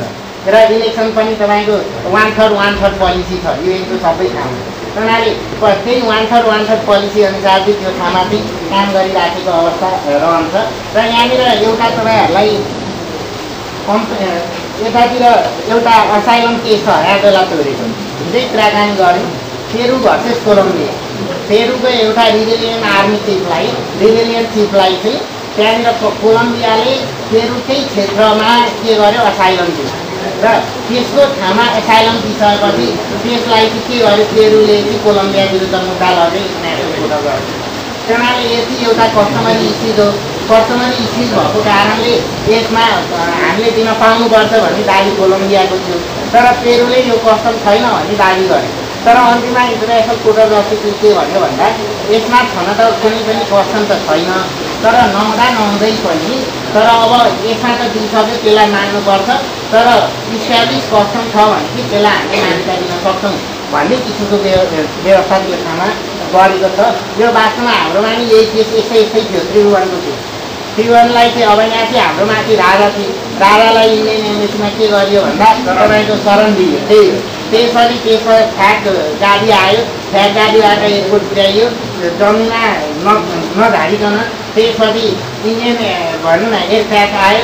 झन्डावाला त्यसबाट चाहिँ दिल्ली पुर्याइएको थियो र फ्या अब यहाँ चाहिँ तपाईँको पेरु भर्सेस कोलम्बियामा चाहिँ रिभेलियन चिजको लागि दिएको थियो। तर हाम्रो माथि राजालाई दिएको थियो। यति फरक छ। ठ्याक्कै स्टेटस उस्तै किसिमको छ। त्यसपछि अर्कोमा जाँदा पर्सु क्यानल केस। कर्फु च्यानल केसमा चाहिँ भोलन्टरी जुरिस्टिक्सन पहिला अब यसको जब दुईवटा बिच चाहिँ कन्फ्लिक्ट भयो युके र अल्बानिया त्यो अनि दुइटैले मिलेर हामी इन्टरनेसनल कोर्ट अफ जस्टिसको जुरिस्टिक्सन स्वीकार गर्ने भन्यो। र स्वीकार गर्ने भनिसकेपछि कर्फु च्यानलमा के थियो भन्दा अल्बानियाको क्षेत्रभित्रको सीमा पसेर आणविक सरसफाइ एक्सप्रेसिभ सरसफाइ गर्न सुरुवात गर्यो र युकेले अनुमति नै नलिकन र र अर्काको देशको क्षेत्रमा पस्दाखेरि अनुमति लिनुपर्छ नेपाल इन्डियामा नि बेला बेलामा यस्ता इस्यु आउँछ कतिले हामीलाई थाहा नभएर त्यस्तो गरेको भनेको हुन्छ। उनीहरूले त्यहाँको इस्यु चाहिँ तपाईँको एक्सप्रेसिभहरू जान जान हटाइएको थियो तर हाम्रो क्षेत्रमा हाम्रो अनुमति बिना यस्तो काम गर्न पाउँदैन भन्ने अल्बानियाको दाबी थियो र त्यही दाबीको अल्बानियाको पक्षमा फैसला गर्थ्यो यो केसमा अर्काको क्षेत्रमा उसको अनुमति नलिकन पस्नु हुँदैन उसको अनुमति लिएर जोइन्ट रूपमा त्यो सरसफाइ गर्न सकिन्थ्यो। अब बेला बेलामा आउँछ हाम्रोमा नेचुरल क्यालेमिटिजमा पनि त्यस्तो इस्यु आउँछ एकदम। हुनाले अर्को इस्यु छ तपाईँको एडभाइजरी जुरिस्टिक्सनमा एडभाइजरी जुरिस्टिक्सनमा पनि धेरै एडभाइजरी जुरिस्टिक्सन पहिला यो चाहिँ के छ भन्दा condition of admission of state of to membership in the United Nation यसको चाहिँ मेम्बरसिपमा के थियो भन्दा युएनमा चाहिँ केही देशले आठवटा देशले लगभग मेम्बरसिप पाएका थिए। नपाएपछि तिनीहरूले अप्लाई गरे युएनको मेम्बरसिप लिनको लागि। हुनाले सिक्युरिटी काउन्सिलले रेकमेन्डेसन गरिराखेको थिएन। र जेनरल एसेम्ब सेक्युरिटी काउन्सिलले रेकमेन्डेसन नगरी जेनरल एसेम्ब्लीले एडप्ट हुँदैन थियो। अनि यसको लागि राय माग्यो इन्टरनेसनल कोर्ट अफ जस्टिससँग। इन्टरनेसनल कोर्ट अफ जस्टिसले के भन्यो भन्दा युएन चार्टरको प्रिएम्बल र युएन चार्टरको अब्जेक्टिभ चाहिँ पुरा गर्छ उनीहरू युद्धमा जाँदैनन् भने तिनीहरूलाई मेम्बरसिप दिए हुन्छ भन्यो। र त्यसैको आधारमा चाहिँ मेम्बरसिप पछि धेरै कन्ट्रीहरूलाई दिइएको छ जुन चाहिँ एक्सिस फोरसँग सम्बन्ध राख्छ त्यो बेलाको स्टेटस त्यही त्यही ठाउँमा चाहिँ रहेको देखिन्छ। त्यो हुनाले अब इन्टरनेसनल कोर्ट अफ जस्टिसले कस्ता कानुनहरू कार्यान्वयन गर्छ। भन्दा कानुनभन्दा पहिला कन्भेन्सन छ भने कन्भेन्सन कार्यान्वयन गर्छ। त्यसपछि दोस्रोमा तपाईँको त्यो दोस्रोमा चाहिँ जाँदाखेरि कस्टम कार्यान्वयन गर्छ। तेस्रोमा चाहिँ प्रिन्सिपल अफ दि ललाई कार्यान्वयन गर्छ। र चौथोमा जुरिस्टिक राइटिङ त्यो विषयमा लेखेका एक्सपर्टहरूका राइटिङलाई पनि उसले मान्न सक्छ तर भाषामा देख्दा जहाँ कन्भेन्सन छ कन्भेन्सन नै लागु हुन्छ। जहाँ हाम्रो नेसनल लमा पनि जहाँ रिटर्न ल हुन्छ रिटर्न ल नै त्यहाँनिर लागु हुन्छ। रिटर्न ल छैन भने मात्र कस्टम लागु हुन्छ। त्यो हुनाले इभिल कस्टम कहिल्यै लागु हुन सक्दैन। अहिले पनि हरेक कन्भेन्सनमा यो लेखेको छ। जुन कुरा यो कन्भेन्सनमा लेखेको हुन्छ यही कन्भेन्सन लागु हुन्छ। जुन कुरा यो कन्भेन्सनमा लेखेको हुँदैन। त्यसमा कस्टमरी प्रथाहरू प्रथाजनी कानुनहरू लागु हुन्छ। लेखिकै अवस्था त्यहाँनिर क्रिएट गरेको हुन्छ। त्यसकारण इन्टरनेसनल कोर्ट अफ जस्टिसले तपाईँको इन्टरनेसनल लको विकासको लागि यसलाई इफेक्टिभ कार्यान्वयनको लागि धेरै रोल प्ले गरेको छ। र इन्टरनेसनल कोर्ट अफ जस्टिसको फैसला मेम्बर कन्ट्रीले मान्नु बाध्यात्मक छ। तर अब मैले हिजै भने जस्तै निकारागुवा भर्सेस युएसएको केसमा पछि निकारागुवाको पक्षमा फैसला गर्दै आइसिजेले युएसएले पछि डोनेसनहरू दिएर चाहिँ त्यसलाई आफूले सेटल गरेको छ आफूले। हुनाले त्यो मान्न चाहिँ इभन डेभलप कन्ट्रीले पनि मान्छन्। अर्थात् चाहिँ डेभलपिङ कन्ट्रिजहरूको लागि त झन् फोर त्यहाँनिर त तपाईँको एलाइनेसन नै हुन्छ अर्थात् छुट्याइदिन्छ। हुनाले यस्तो चिजहरू चाहिँ यहाँनिर राखेको देखिन्छ। हुनाले अर्कोमा चाहिँ जाँदा अब हामीसँग स्पेसलाइज एजेन्सिजहरू छ। अहिले त युएन भन्यो युएनले अहिले हाम्रोमा अब चौधवटालाई मान्यता दिएको छ कहिले पन्ध्र हुन्छ कहिले पनि बनाएको थियो। तपाईँको भनौँ न एउटा committee for the intellectual cooperation. International committee for intellectual cooperation बनाएको थियो नाइन्टिन ट्वेन्टी टूमा। नाइन्टिन फोर्टी फोर फाइभमा आएपछि यो युनेस्कोले एजुकेसनमा तपाईँको साइन्टिफिक एक्टिभिटिजमा त्यसपछि कल्चरल एक्टिभिटिजमा सपोर्ट गर्नको लागि रेकमेन्डेसन गर्नको लागि यसले धेरै कन्भेन्सन पास गरेको छ। यसको युनेस्कोको नाइन्टिन फिफ्टी सिक्सको अर्को कन्भेन्सन पनि छ। तपाईँको त्यो आर्म फोर्ससँग तपाईँको नेचुरल हेरिटेजमा गएर बम्बार्मेन्ट गर्न मिल्दैन। अर्थात् त्यो लिस्टबाट हटाइदिन्छौँ भन्छ अहिले हामीलाई त्यसको जयनाको लागि फन्ड पनि आउँछ सपोर्ट पनि भइराखेको हुन्छ। यस्ता काम चाहिँ युनेस्कोले गरेको छ। र अब यसमा पनि त्यही हो काम गर्ने यसको अर्ग्यानिक कन्फरेन्स छ। र कन्फरेन्स पछि अब त्यसमा चाहिँ भनौँ न यसको पनि काउन्सिल हुन्छ। त्यसपछि यसको कार्यान्वयन गर्ने पनि निकायहरू हुन्छ। कार्यान्वयन सबैको अर्ग्यानिक स्ट्रक्चर उस्तै किसिमको देखिन्छ। त्यो हुनाले युनेस्कोले एजुकेसन साइन्टिफिक अर्थात् कल्चरल इस्युजमा काम गरेको हुन्छ। विश्वभरि नै यसले धेरै काम गरेको छ र कतिपय इस्यु ह्युमेटेरियन लमा पनि जोडिएको छ र पिस टाइम क्वालिफिकेसन पनि यसले क्रिएट गर्छ। एजुकेसनको क्वालिफिकेसनको स्ट्यान्डर्ड पनि काम गरेको छ। धेरै टु थाउजन्ड थर्टिनमा समेत यसले एउटा कन्भेन्सन पास गरिसकेको छ। धेरै यसले पनि काम गरिराखेको छ। त्यसपछि आइएलओ इन्टरनेसनल लेबर अर्गनाइजेसन पनि युएनको स्पेसलाइज एजेन्सिज हो। र त्यो वास्तवमा उन्नाइस सय उन्नाइस लिग अफ नेसनसँगै इस्टाब्लिस भएको थियो। उन्नाइस सय उन्नाइसमै बनेको थियो। तर उन्नाइस सय बिसदेखि यसले काम गर्यो र काम गरेपछि तपाईँको नाइन्टिन फोर्टी फाइभमा युएन इस्टाब्लिस भएपछि यसले चाहिँ युएनको स्पेसलाइज एजेन्सिजको रूपमा रिकग्निसन दियो। यसको मात्रै तपाईँको अध्ययन गर्ने हो भने यसले एक सय उनासी उनानब्बे वान एट नाइनवटा कन्भेन्सन पास गरिसकेका छ। तपाईँ हामीले काममा चाहिँ आइएलओको कन्भेन्सन मान्ने हो भने त तपाईँको हामीलाई कुनै पनि वर्कर कुनै पनि जब होल्डर कमजोर हुँदै हुँदैन। तर त्यति धेरै one one hundred eighty nine convention pass गरिसकेको छ। वुमेन मेल फिमेल होइन तपाईँको विभिन्न जात जाति इत्यादिमा चाहिँ तपाईँको डिस्क्रिमिनेसन गर्न नपाइने आठ घन्टाभन्दा बेसी काममा लाउन नपाइने तपाईँको मिनिमम स्यालेरीको ग्यारेन्टी गर्नुपर्ने तपाईँको यस्ता सबै कन्भेन्सनहरू छन् त्यसैको प्रभावको रूपमा हामीसँग धेरै ट्रेड युनियनहरू छन्। उनीहरूले चाहिँ आफ्नो चाहिँ लेबर राइट्सको पक्षमा उभिएर काम गरिरहेका छन्। त्यही हुनाले आइएलओले पनि एकदम यसमा चाहिँ काम गरेको छ। यसका आइएलओका तपाईँका विभिन्न रिजनल अफिस छन्। तपाईँको आइएलओको अर्को हेडक्वार्टर अफिस छ अर्को विभिन्न रिजन रिजनमा पनि अफिस छ। हरेक देशमा पनि यस्तो हुनसक्छ तपाईँको हाम्रो नेपालमा पनि आइएलओको आफ्नो छुट्टै यसले यहाँको इस्युमा हेरेको छ। तर यस्ता कामहरू आइएलओले गर्छ। त्यसपछि आइएमएफ आइएमएफ र आइडिआरडी चाहिँ विशेष गरी नाइन्टिन फोर्टी फोरमा चाहिँ भनौँ न त्यो ब्रिटन वुड्स कन्फरेन्समा भाग लिए चौवालिस देश त्यसको भागले र त्यो बेला उनीहरूले इकोनोमिक सिस्टममा रिफर्म गर्नु पऱ्यो र रिफर्म गर्नको लागि एउटा चाहिँ सेन्ट्रलाइज एजेन्सिजको रियलाइजेसन गर्यो। र त्यसमा तिनवटा प्रस्ताव पा पास गरियो नाइन्टिन फोर्टी फोरमा एउटा इन्टरनेसनल मोनिटरी फन्ड अर्को चाहिँ इन्टरनेसनल वर्ल्ड ब्याङ्क जस्तै international bank for reconstruction and development अर्कोमा चाहिँ ग्याप होइन general agreement in tariff and trade बनाउने। र त्यस्तो बनाउने भन्ने तर अब त्यसमध्ये यसको तिनटै सफल भयो। र डब्लुटिओ जस्तो international trade organisation nineteen forty सेभेनमै ल्याउनको लागि कोसिस गर्यो त्यो चाहिँ फेल भयो। त्यसको बावजुद ग्याप चाहिँ त्यो बेला नाइन्टिन फोर्टी सेभेनमा नै पास भएर काम भइसकेको थियो। अनि नाइन्टिन फोर्टी फाइभमा नै बने यो आइडिआरडी र इन्टरनेसनल मोनिटरी फन्ड तर दुइटाको फन्डामेन्टल डिफ्रेन्स तपाईँहरूले बुझ्नुहोस् कि इन्टरनेसनल मोनिटरी फन्ड भनेको मोनिटरी अथोरिटीको रूपमा काम गर्छ। हाम्रो ब्यालेन्स अफ पेमेन्ट बिग्रियो अर्थात् हाम्रोमा ब्यालेन्स अफ ट्रेड साह्रै एडभर्स भयो देशको प्राइस स्टेबिलिटी भएन मोनिटरी स्टेबिलिटी भएन अनि यसमा सपोर्ट गर्ने हो। सेन्ट्रल ब्याङ्कले जे गर्छ त्यस्तै काम प्रगतिको काम गर्ने हो इन्टरनेसनल मोनिटरी फन्डले र यसले हामीलाई सपोर्ट गर्दा पनि सेन्ट्रल ब्याङ्क मार्फत सरकारलाई गर्छ। र अन्तिममा त्यसको पे गर्नुपर्ने छ भने पनि सेन्ट्रल ब्याङ्कले गर्ने किनकि सेन्ट्रल ब्याङ्क त्यसको मेम्बर हुन्छ।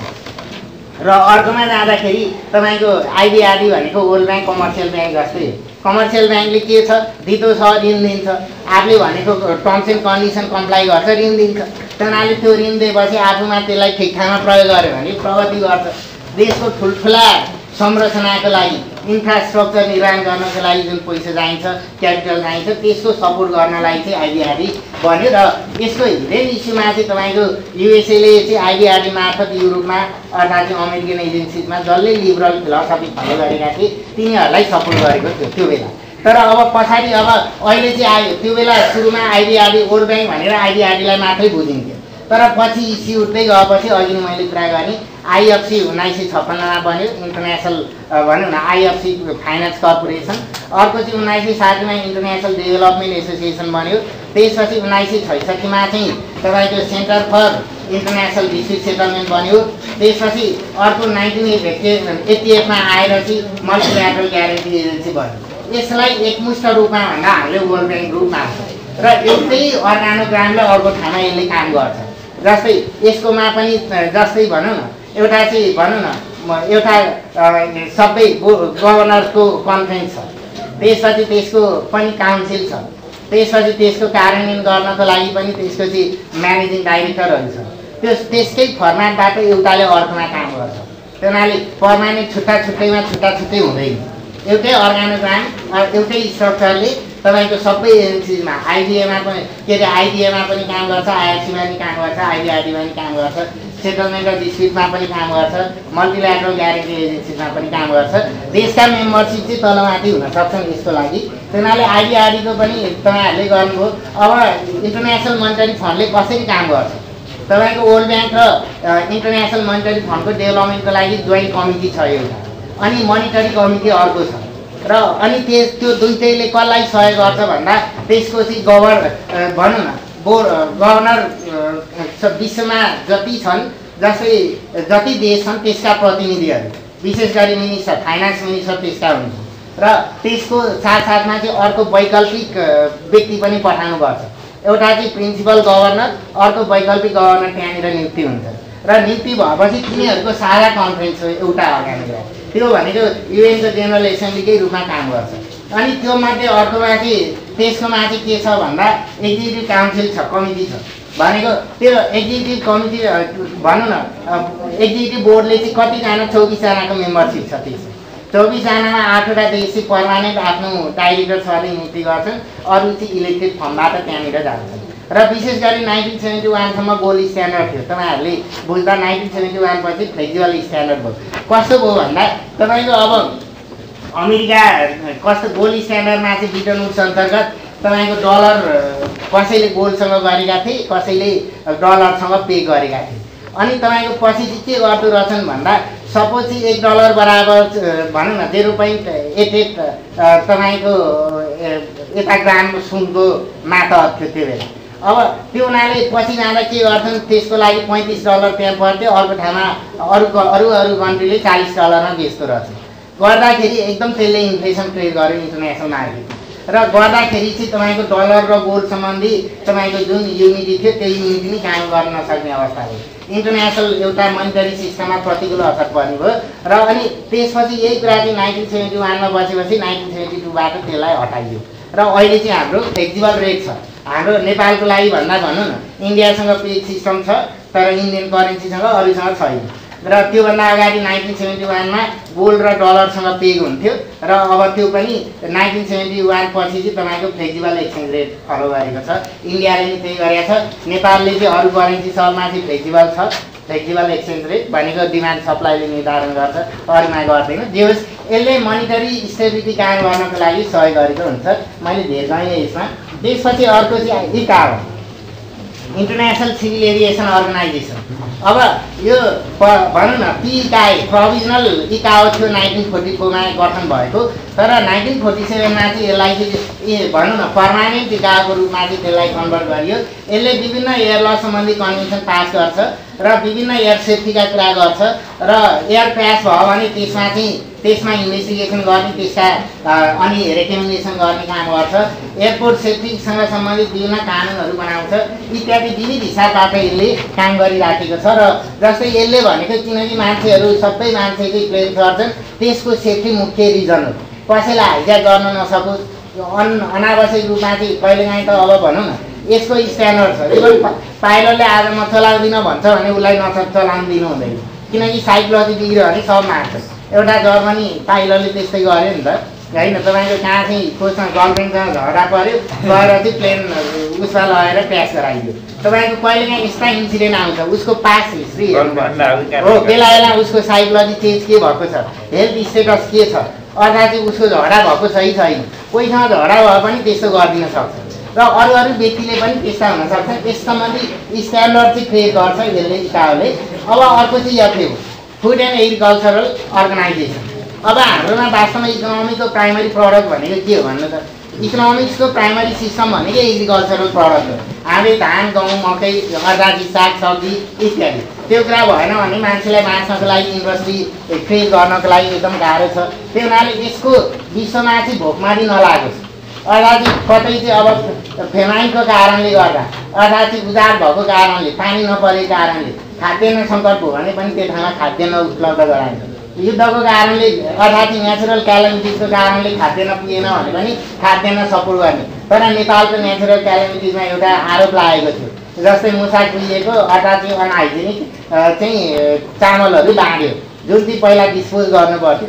कति त समुद्रमा लगेर कति फालिन्छ भनेको त्यस्ता चिजहरू चाहिँ नेपालीहरूलाई बाँड्यो भनेर आरोप लाग्यो तर पछि त्यसको जस्टिफिकेसन भएन हो।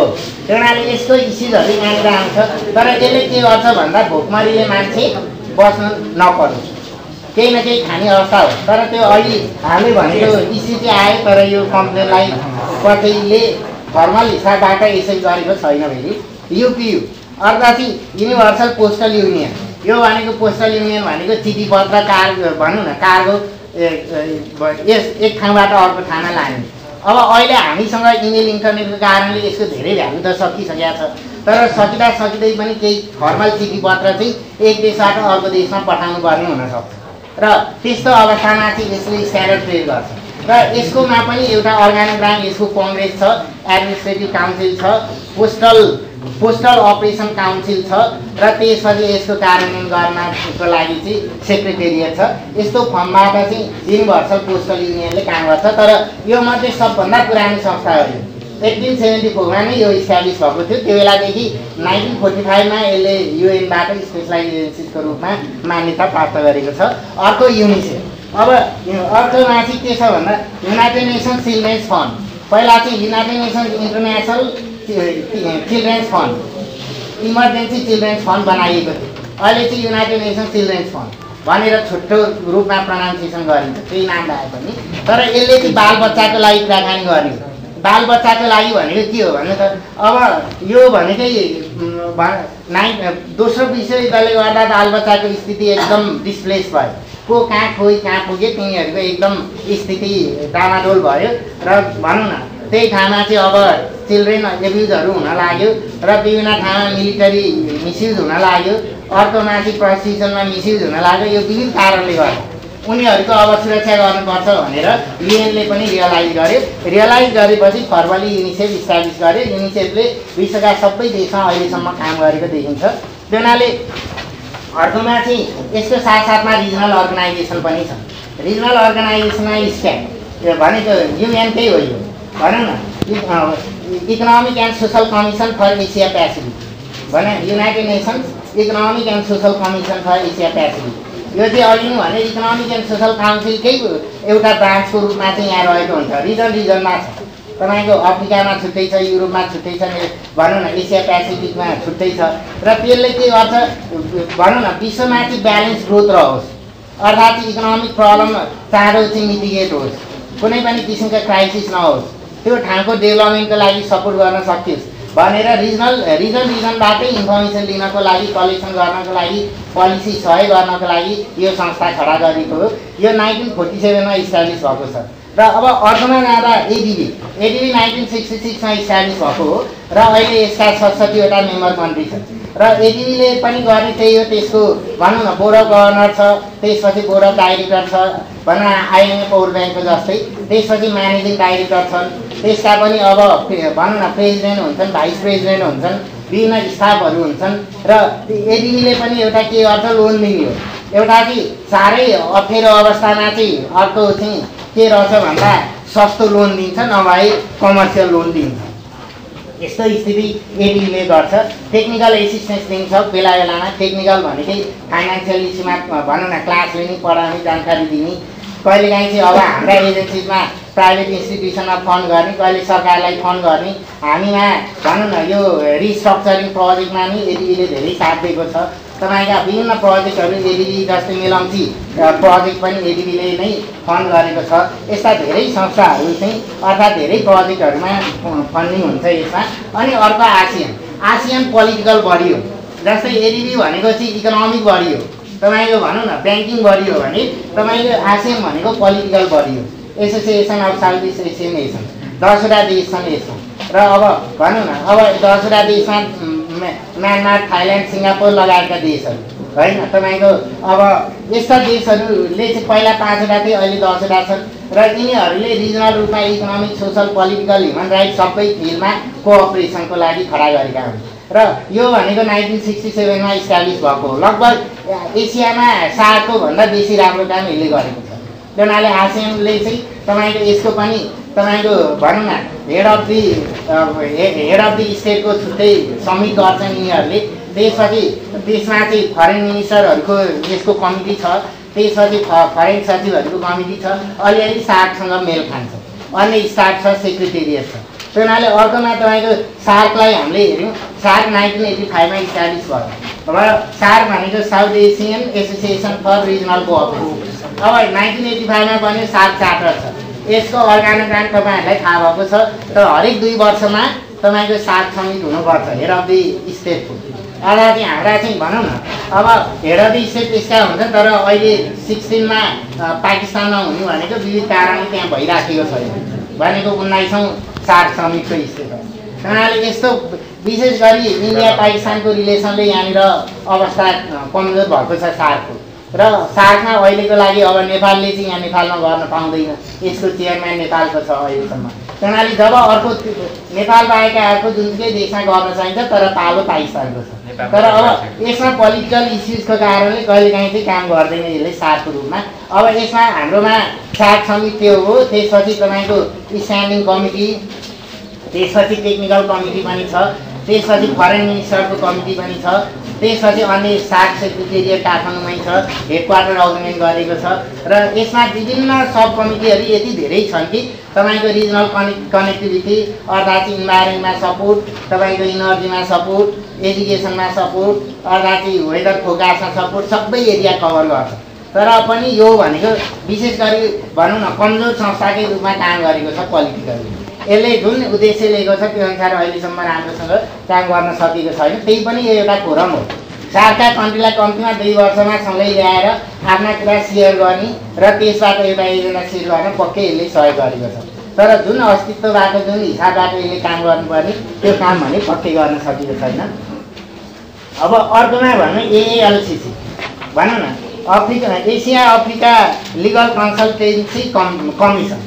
र भनौँ न अर्गनाइजेसन अफ एसिया अफ्रिका भनेको अहिले चाहिँ तर जे भने तापनि यसमा मेम्बर छन् पचपन्नवटा देश। एसियाका पनि यसमा मेम्बर हुन सक्छन् अफ्रिकाका पनि मेम्बर हुन सक्छन्। विशेष गरी सुरुमा यो पाँचवटा इन्डिया लगायतका पाँचवटा देशले इनिसिएसन लिएका थिए। तर अहिले यो के हो भन्दा इन्टरनेसनल लमा एसियन कन्ट्रिजको प्रतिनिधित्व कमजोर छ। तपाईँ हाम्रै पनि कमजोर छ। नेपालमा भने त जहाँ चाहिँ भन्दा इन्टरनेसनल लको के भ्यालु भन्छ नबुझेर। जब अब यस्तो काम भइसकेपछि अब यो इन्टरनेसनल लले त विश्व फोरम नै यसको हातमा छ। अब यो जान्नुपर्छ। यो जान्नको लागि संयुक्त रूपमा एउटा कन्सल्टेन्सी कमिटी बनाऊ। ग्लोबल रूपमा इमर्ज भएका समस्याको समाधान होस्। त्यहाँमाथि हामीले भनौँ न नेपालले नै हायर गर्नु पऱ्यो भने युएसए अर्थात् युरोपका चाहिँ लयर हायर गर्न सक्दैन। हुनाले त्यस्तो अवस्थामा आफ्नो क्यापेसिटी बिल्डअप गर्दै लाने। भन्ने उद्देश्यले यो संस्था खडा गरिएको हो। तर यसले कम्तीमा इन्टरनेसनल लमा चाहिँ वार्षिक रूपमा यी कन्ट्रीहरू एसिया अफ्रिकामा देखा परेका समस्याहरू सम्बन्धी रिपोर्ट लिन्छ। त्यसमा एडभाइजरी ओपिनियन दिन्छ अन्य विषयमा बेला बेलामा कन्फरेन्स गर्छ। आइरहेको इस्युमा चाहिँ टिचिङ गर्छ ट्रेनिङ गर्छ। इत्यादि कामले यसले काम गरिराखेको छ। त्यसपछि बिमस्टेक। वास्तवमा यो नामबाटै छ। बी भनेको बङ्गलादेश सुरुमा म्याम भनेको म्यानमार आई भनेको इन्डिया एस भनेको श्रीलङ्का टी भनेको थाइल्यान्ड सुरुमा। पछि चाहिँ थपे नेपाल र भुटान टु थाउजन्ड फोरमा। र यो फर्मल्ली नाइन्टिन नाइन्टी सेभेनमा इस्टाब्लिस भएको हो। र त्यो हुँदा तर यसको लङ टर्म उद्देश्य छ। सार्क र एसियन आसि association of South East Asian नेसन्सलाई सँगै ल्याउने लङ टर्ममा तर वेस्टर्न पोलिटिकल सिचुएसनले वेस्टर्न इन्स्टिट्युसनल सिचुएसनले यहाँ फरक पार्छ। त्यो हुनाले लङ टर्म भिजन यसको छ। यसले पनि अब तपाईँको फ्री ट्रेड सम्बन्धी एउटा ऊ नै पास गरेको छ टु थाउजन्ड फोरमा अब अर्को छ हाम्रैमा सार्कले पनि फ्री ट्रेड सम्बन्धी भनौँ न सार्कका पास गरेको छ टु थाउजन्ड फोरमा नै। वास्तवमा लङ टर्ममा यिनीहरू मर्ज हुने हुन्। काउन्टर टेरिजम सम्बन्धी यसले काम गर्छ कोअपरेसनमा काम गर्छ इकोनोमिक कोअपरेसन टेक्निकल कोअपरेसन इत्यादि विविध रूपमा लगभग संरचना उस्तै उस्तै छ। लङ टर्मबाट तर यसको उद्देश्य भनेको तर अब पनि यस सार्को जस्तै भएको छ। बेला बेलामा समिट हुन्छ बेला बेलामा सब कमिटीको मिटिङ हुन्छ बेला बेलामा ट्रेनिङ हुन्छ यो बाहेक अरू यसले पनि केही गर्न सकेको छैन। तर लङ टर्म हिसाबबाट यसलाई आसियन र भनौँ न South South Asian agency agency सार्कलाई चाहिँ मर्ज गर्ने नीति हो यो चाहिँ तर अब त्यो अब हुन नि सक्छ नहुन नि सक्छ। एउटा लङ टर्म भिजन हो यसको। त्यसपछि अर्कोमा चाहिँ तपाईँको अर्गनाइजेसन अफ अफ्रिकन युनियन अब युनिटी पहिला चाहिँ अर्गनाइजेसन अफ अफ्रिकन युनिटी थियो। नाइन्टिन सिक्सटी थ्रीमा बत्तिसवटा देशले अफ्रिकाका बत्तिसवटा देशसँगै आए अनि यो संस्था खडा गरे। अब यसमा पनि तपाईँको एसेम्ब्ली काउन्सिल त्यसपछि सेक्रेटेरिएट छ। र त्यो फर्मबाट यसले काम गर्थ्यो। नाइन्टिन नाइन्टी नाइनमा आएर चाहिँ यसले चाहिँ अब भनौँ न युरोपियन युनियन जस्तै अफ्रिकन युनियन बनाएको छ। यसका आफ्नै अर्गानोग्राम आफ्नै काउन्सिल छ कमिसन छ पार्लियामेन्ट छ यसै तर युरोपियन युनियन जस्तो यो प्रभावकारी चाहिँ पक्कै छैन। तर अब यसैमा चाहिँ के छ भन्दा अर्गनाइजेसन अफ अफ्रिकन युनिटीले नै तपाईँको नाइन्टिन एट्टी वानमा चाहिँ African convention on human rights pass गरेको छ। तर तपाईँको युरोपमा युरोपियन युनियनलाई हेर्नुहोस् यहाँ इइसी भनेको छ युरो युरोपियन इकोनोमिक कम्युनिटी। त्यो चाहिँ के हो भन्दा नाइन्टिन फिफ्टी वानमा अघि नै मैले युएनसँग जोड्छु। नाइन्टिन फोर्टी फाइभमा चाहिँ तपाईँको U UNE United Nations Europe establish गर्न खोजे भएन। अनि तपाईँको के गर्यो भन्दा नाइन्टिन फोर्टी नाइनमा गएर युरोपियन काउन्सिल खडा गर्यो। तर युरोपियन काउन्सिल र युरोपियन इकोनोमिक कमिटी फरक हुन्। अनि नाइन्टिन फिफ्टी वानमा चाहिँ European coal and steel company थियो। विभिन्न देशमा मर्ज गर्यो अनि एउटाले अर्कोलाई सपोर्ट गर्ने नीति गर्यो अनि त्यसपछि नाइन्टिन फिफ्टी सेभेनमा गएर यिनीहरूले के गर्यो भन्दा European economic community European energy community European atomic community बनायो। र यो नाइन्टिन फिफ्टी सेभेनमा त अस्तित्वमा छ यो वर्ड र अनि त्यसले कहिलेसम्म काम गरे पहिला चाहिँ नाइन्टिन नाइन्टी टूमा मास्टरिज ट्रिटी आउनुभन्दा अगाडि इसीले नै नाम दिन्थ्यो। तर नाइन्टिन नाइन्टी थ्रीमा यो formally Maastricht treaty nineteen ninety थ्रीमा enforce भयो। त्यसपछि युरोपियन युनियन भन्न लाग्यो। र अब नाइन्टिन नाइन्टी एटमा युरोपियन सेन्ट्रल ब्याङ्क बनाइयो। त्यसपछि करेन्सीको प्लान बनाइयो युरो करेन्सी नाइन्टिन नाइन्टी नाइनमा। टु थाउजन्ड टूबाट अहिले उन्नाइसवटा देशले यसलाई फलो गरेका छन्। अब मध्ये युकेले त्यसलाई फलो गर्न रिफेरेन्डम भएको थियो। र अहिले चाहिँ त्यसको मेम्बरसिपै विड्र गर्यो। त्यो हुनाले यो पहिला regional most powerful regional agency हो तर युके पछि चाहिँ यसलाई अलिकति असर पार्छ। तर युरोपियन युनियनमा पक्कै नै जर्मनीको इकोनोमीको डोमिनेसन छ अहिलेको लागि त्यस कारणले अब युकेले पनि के सोच्यो त्यहाँका जनताले के सोच्यो भन्दा अब हाम्रो यो मार्फत हाम्रो डोमिनेसन कायम हुन सक्दैन। किनकि तपाईँको उन्नाइसौँ शताब्दीको डोमिनेसन गरेर बसेको देश हो युके हुनाले त्यसको विविध कारणले गर्दा चाहिँ उसले त्यसलाई एक्सेप्ट गरिराखेको छैन। पाउन्डलाई रिप्लेस गरेन। रिफेरेन्डमले नै पाउ के अरे युरो करेन्सी लागू गर्नको लागि कोसिस गरेको थियो फेल खायो। र दोस्रो रिफेरेन्डममा त तपाईँको मेम्बरसिपै विड्र गरिदियो। त्यहाँको स्टेटस त्यस्तो छ। त्यही हुनाले युरोपियन जे होस् अहिलेको European union regional most powerful regional organisation regional institution हो। त्यसपछि अर्गनाइजेसन अफ अमेरिकन तर यो फर्मली बन्यो चाहिँ नाइन्टिन फोर्टी सेभेनमा। अब फोर्टी सिक्समा। त्यसपछि तर यसको ओरिजिनल्ली चाहिँ के थियो भन्नुहुन्छ भन्दा पान अमेरिकन स्टेट्सको कन्भेन्सन भएको थियो एट्टिन ट्वेन्टी सिक्स र कन्फरेन्स भएको थियो। र त्यसैको प्रिभिसेसर भनेको त्यो बेला एट्टिन ट्वेन्टी सिक्सदेखिको लिगेसी छ यसको। र अब एट्टिन नाइन्टिन फोर्टी सिक्समा आएपछि उनीहरूले यसलाई चाहिँ भनौँ न अर्गनाइजेसन अफ अमेरिकन स्टेट्स बनायो इन्टर अमेरिकन स्टेट्स बनायो। लगभग पैँतिसवटा देश। अमेरिका लगायत ल्याटिन अमेरिकन पैँतिसवटा देश यसका मेम्बर छन् र यसमा पनि त्यस्तै छ। काम गर्ने फङ्सनिङ बडी भनेको यसको एसेम्ब्ली छ काउन्सिल छ अर्थात् सेक्रेटेरिएट छ। यसले विविध रूपमा यसैले पनि भनौँ न इन्टर अमेरिकन स्टेटको ह्युमन राइट्स कन्भेन्सन पास गरेको छ। र त्यो हुनाले यसले रिजनल कोअपरेसनको रूपमा काम गर्ने विविध सेक्टरमा इकोनोमिक कोअपरेसन गर्ने टेक्निकल कोअपरेसन गर्ने लगायतका काममा यसले सहयोग पुर्याउने नीति लिएको छ। अब अर्कोमा अब यसमा मैले धेर भनिनँ। इन्ट्रोडक्सन टु ह्युमन राइट्स के हो ह्युमन राइट्स ह्युमन राइट्स भनेको के हो भन् भन्नुहुन्छ भन्दा नेचुरल राइट्स जन्मसिद्ध अधिकार हो। हामीले जन्मेपछि ल शिक्षाको आधार खान पाउनुपर्छ बाँच्न पाउनुपर्छ हल्न पाउनुपर्छ। भनेपछि यस्ता चिजहरूको ग्यारेन्टी विश्वका जनतालाई हुनुपर्छ भन्ने मान्यता ह्युमन राइट्सले राख्छ तपाईँहरूले यहाँ के बुझ्नुपर्छ भन्दा fundamental rights human rights civil rights फरक चिजहरू ह्युमन राइट्स विश्वका जनतालाई लागु हुन्छ। फन्डामेन्टल राइट्स त्यो देशका नागरिकलाई मात्र लागु हुन्छ। सिभिल राइट्स कानुनले तोके बमोजिमका राइट्सहरू हुन्। तर ह्युमन राइट्स भनेका विश्वका मान्छेहरूलाई चाहिँ लागु हुने राइट्सहरू तर अब यहाँ तपाईँहरूले के भन्नुहोस् भन्दा ह्युमन राइट्सको कन्सेप्ट नेसनल लबाटै विकास भएको हो। तपाईँको टुवेल्भ फिफ्टिनको म्याग्ना कार्टा लिबरेटम राजाबाट अधिकार खोसेको राजा काठबाट हिँडे राखेको बेलामा जनताले आफ्नो अधिकार खोसेर लिए त्यसको लागि चाहिँ विद्रोही भारदारहरू भनेका राजाका नजिकका व्यक्तिहरूको पनि सपोर्ट थियो र जनतालेको पनि सपोर्ट थियो। फर्मल्ली उनीहरूले नो ट्याक्सेसन विदाउट रिप्रेजेन्टेसन जति पनि ट्याक्स लगाउने जति पनि मिलिटरी इस्युमा आए आऊ नआएदेखि कारवाही गर्छु भन्ने। यस्तो अवस्था थियो। सिभिल लिबर्टी केही थिएन। त्यसपछि प्रपर्टीको ग्यारेन्टी केही थिएन। त्यो मिनिमम ग्यारेन्टी गर्ने चाहिँ एउटा पेपरमा साइन गरायो। हाम्रोमा चाहिँ जस्तै भनौँ न सम्झौता।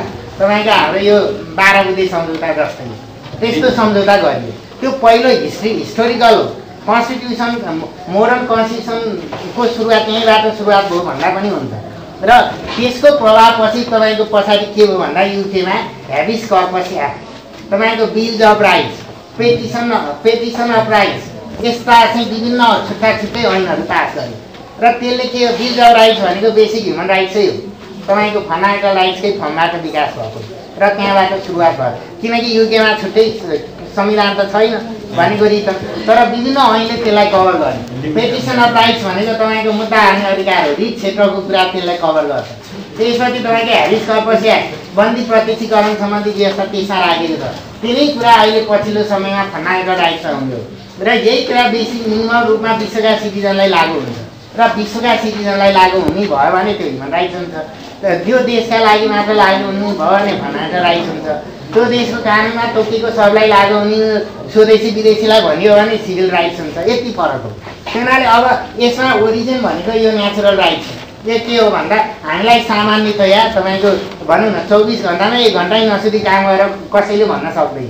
बाह्र घन्टा सुत नेचरले हामीलाई दिएको त्यही हो। तपाईँको बिहान छ बजीदेखि बेलुका छ बजीसम्म काम गर्ने हो। तपाईँको बेलुकाको छ बजे भनौँ न अहिले इलेक्ट्रिसिटीले बिगाऱ्यो होइन? त्यो भएर नहुँदा हामीले बेलुका छ बजे रात हुन्छ वा जब राति हुन्छ रातभरि हाम्रो रेस्ट टाइम हो। त्यही हुनाले अहिलेको लागि मोडर्न लेबर लले के भन्छ कम्तीमा आठ घन्टा काम हो बाँकी बाँकी समय भनेको तपाईँको इन्टरटेनमेन्ट हो। हामी सधैँ काम गरेर इन्टरटेनमेन्ट नलिई बस्न पनि सक्दैनौँ। त्यही हुनाले खा नखाइकन बाँच्न बस्न पनि सक्दैनौँ। अर्थात् कुनै एउटा घर नभइकन पनि बाँच्न सक्दैनौँ। नेचुरल राइटसँग सम्बन्धित छ। अर्थात् चाहिँ हामीले चाहिँ बेसिक कभार्स पनि हामीलाई आवश्यक छ। यसैको प्रोटेक्सन विश्वभरिको मान्छेलाई जुन प्रेट हुन्छ। त्यो त्यो भनेकै तपाईँको नेचुरल राइट्स हो। त्यो भनेकै ह्युमन राइट्स हो र यो विश्वका मान्छेहरूलाई चाहिँ लागु हुन्छ र हिस्टोरिकल्ली अघि मैले भने युएनको विकास भएपछि युएन पछि चाहिँ यो ह्युमन राइट्स चाहिँ इन्स्टिट्युसनल हिसाबबाट विकास भयो। त्योभन्दा अगाडि लिग अफ नेसन्स थियो लिग नेसन्सले अलिअलि कोसिस गर्यो। तर युएनले चाहिँ अहिले वास्तवमा ह्युमन राइट्स भनेको फुल्ली डेभलपमेन्ट भनेको तपाईँको युनाइटेड नेसन्सले गरेको छ।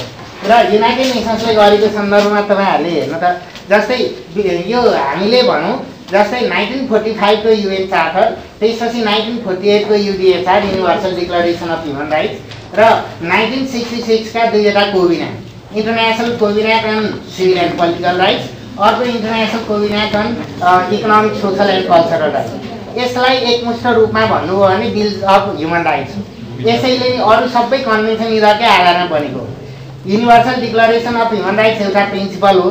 त्यो प्रिन्सिपललाई चाहिँ लिगल भ्यालिडिटी आइसिसिपिआर र आइसिएसिआरले दियो। किनकि डिक्लरेसन आफैमा बाइन्डिङ हुँदैन नि त। मेम्बर कन्ट्रीले लाग्यो। अब जब कन् कोभिनेन्टकै रूपमा कन्भेन्सनकै रूपमा पास गर्छ अब हामी बाध्य छौँ। र अब आइसिसिपिआर र आइसिएसिआरकै अब अब अर्को इम्पोर्टेन्ट डेभलपमेन्ट छ अहिले। टु थाउजन्ड नाइनमा आइसिएसिआरको पनि अप्सनल प्रोटोकल हुन्छ। के अरे अप्सनल प्रोटोकल छ individual communication individual communication system भनेको मलाई कसैले पिराते राज्यबाट मैले न्याय पाइनँ भने अर्थात् यस्तो पीडित व्यक्तिहरू धेरै छन् भने तपाईँको मेरो व्यक्तिगत कुरा पनि युएनमा लान मिल्छ समितिमा लान मिल्छ।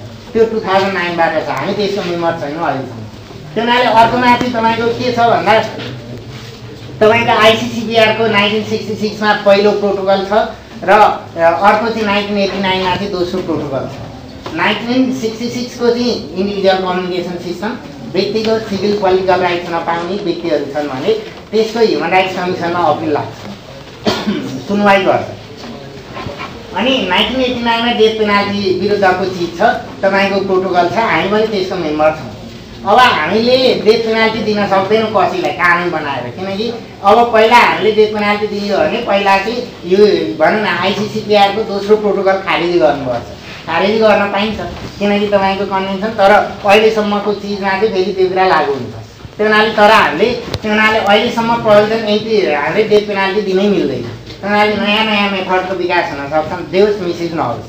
किनकि डेथ पेनाल्टी किन दिनु हुँदैन भन्दा जुनसुकै बेला जोसुकै फस्न सक्छन्। त्यस कारणले डेथ पेनाल्टी नदिने हो र विश्वले मुभमेन्ट चलाएको छ तर सिरियस क्राइममा डेथ पेनाल्टी दिने चलन अमेरिकामा पनि छ इन्डियामा पनि छ युरोपमा पनि छ चाइनामा पनि छ। त्यो डेथ पेनाल्टी चाहिँ वास्तवमा केही देश नेपाल लगायतका धेरै देशहरूले पनि अहिले क्रमिक रूपमा बढिरहेको अवस्था छ। र यसको टोटालिटी भनेको चाहिँ अफ राइट्सको रिलेसन र यसको रुल अफ ल त्यही नै हो। र यसले मान्छेको ह्युमन डिग्निटी तपाईँको प्राइभेसीको रक्षा गर्छ तपाईँको इन्टिग्रिटीको रक्षा गर्छ तपाईँको भनौँ न जेन्डरको रक्षा गर्छ। अर्थात् तपाईँ हाम्रो चाहिँ भनौँ न बेसिक खान बस्न लाउन पाउने अधिकारको रक्षा गर्छ। तपाईँ हाम्रो चाहिँ मिनिमम काम गर्ने चिजलाई कन्ट्रोल गर्छ। अर्थात् चाहिँ सुनवाईको मौकाको रक्षा गर्छ। पोलिटिकल राइट्सको ग्यारेन्टी गर्छ। सिभिल लिबर्टीको ग्यारेन्टी गर्छ वाक तथा अभिव्यक्ति स्वतन्त्रताको ग्यारेन्टी गर्छ नभए हामी यतिमा क्लासमा पनि बोल्न नसक्ने अवस्था हुनसक्थ्यो पहिला पहिला। क्रिटिकल कमेन्ट हुन्छ नि त हो। हामी जहाँसुकै भनेको एकाडेमिक सेक्टरमा त हामीले सबको सबको विरोध गरेको हुन्छ भनौँ न। यही चिज अब भनौँ न कहिलेकाहीँ युएसएकै क्रिटिकल कमेन्ट गर्छौँ कहिले युएनकै क्रिटिकल कमेन्ट गर्छौँ सरकारकै क्रिटिकल कमेन्ट गर्छौँ यहाँका सबै भनौँ न ठुल्ठुला एजेन्सिजका प्रतिनिधिहरूको हामीले कमेन्ट गर्छौँ। त्यो भनेको तपाईँको भनौँ न अफ स्पिच एन्ड एक्सप्रेसन भएन भने किनकि यो हेल्दी कमेन्ट हो अनहेल्दी होइन मिलिटरी कु गरेको होइन।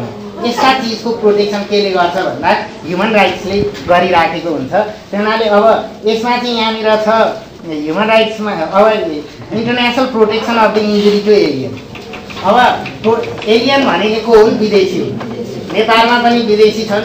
चाइनामा पनि विदेशी छन् विदेशी सरकारका प्रतिनिधि पनि छन् अनि विदेशी मल्टिनेसनल कम्पनीका प्रतिनिधि पनि त्यहाँनिर छन् विदेशी नागरिक पनि चाइनामा पनि छन् भने अलिक चाइना सोसलिस्ट भनेर नाम लेख्दै इन्डियामा पनि छन् अमेरिकामा पनि छन्। त्यही हुनाले यो सबै चिजहरूलाई हामीले विशेष गरी फेभरेबल ट्रिटमेन्ट हामीले दिने एउटा मेथड छ। त्यो मेथड भनेको के भन्नुहुन्छ भन्दा सकिन्छ भने तपाईँको तपाईँको के गर्ने भन्दा नेसनल ट्रिटमेन्ट नेपालीहरूलाई भनौँ न जस नेपालीहरूलाई जस्तो किसिमका चाहिँ हामीले सेवा सुविधा दिएको छौँ अधिकार दिएको छौँ विदेशीलाई पनि त्यस्तै अधिकार दिन्छ तर यो दिनैपर्छ भन्ने होइन। त्यो त्यो भनेको नेसनल ट्रिटमेन्ट हो। अर्कोमा प्रिफरेन्सियल ट्रिटमेन्ट अरू देशको भन्दा कुनै खास नागरिकलाई प्रिफरेन्सियल ट्रिटमेन्ट हुन्छ। कहिलेकाहीँ इन्डियाले नेपालको लागि प्रिफरेन्सियल ट्रिटमेन्ट दिन्छ। कहिले नेसनल ट्रिटमेन्ट दिन्छ? नेपालले पनि इन्डियन सिटिजनलाई कहिले नेसनल ट्रिटमेन्ट दिन्छ कहिले प्रिफरेन्सियल ट्रिटमेन्ट दिन्छ त्यही हुनाले अर्कोमा चाहिँ मस्ट फेभर नेसन ट्रिटमेन्ट। भनेर हामी नदीका दोषी भएका देशका जनतालाई जस्तो किसिमको मान्यता दिन्छौँ अरू देशका सिटिजनलाई पनि हामीले त्यस्तै किसिमका मान्यताहरू दिन सक दिनुपर्छ। त्यो भनेको मस्ट फेभर नेसन ट्रिटमेन्ट हो। त्यही हुनाले अर्को चिजमा जाँदाखेरि चाहिँ तपाईँको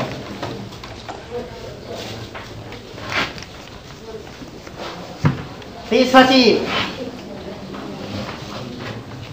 अर्को इस्युबाट छ जस्तै तपाईँको मस्ट फेभर नेसन ट्रिटमेन्ट पछि अर्कोमा चाहिँ अर्थात् चाहिँ डिरोगेटिभ ट्रिटमेन्ट अर्थात् चाहिँ तपाईँले भने चाहिँ नराम्रो ट्रिटमेन्ट गर्ने।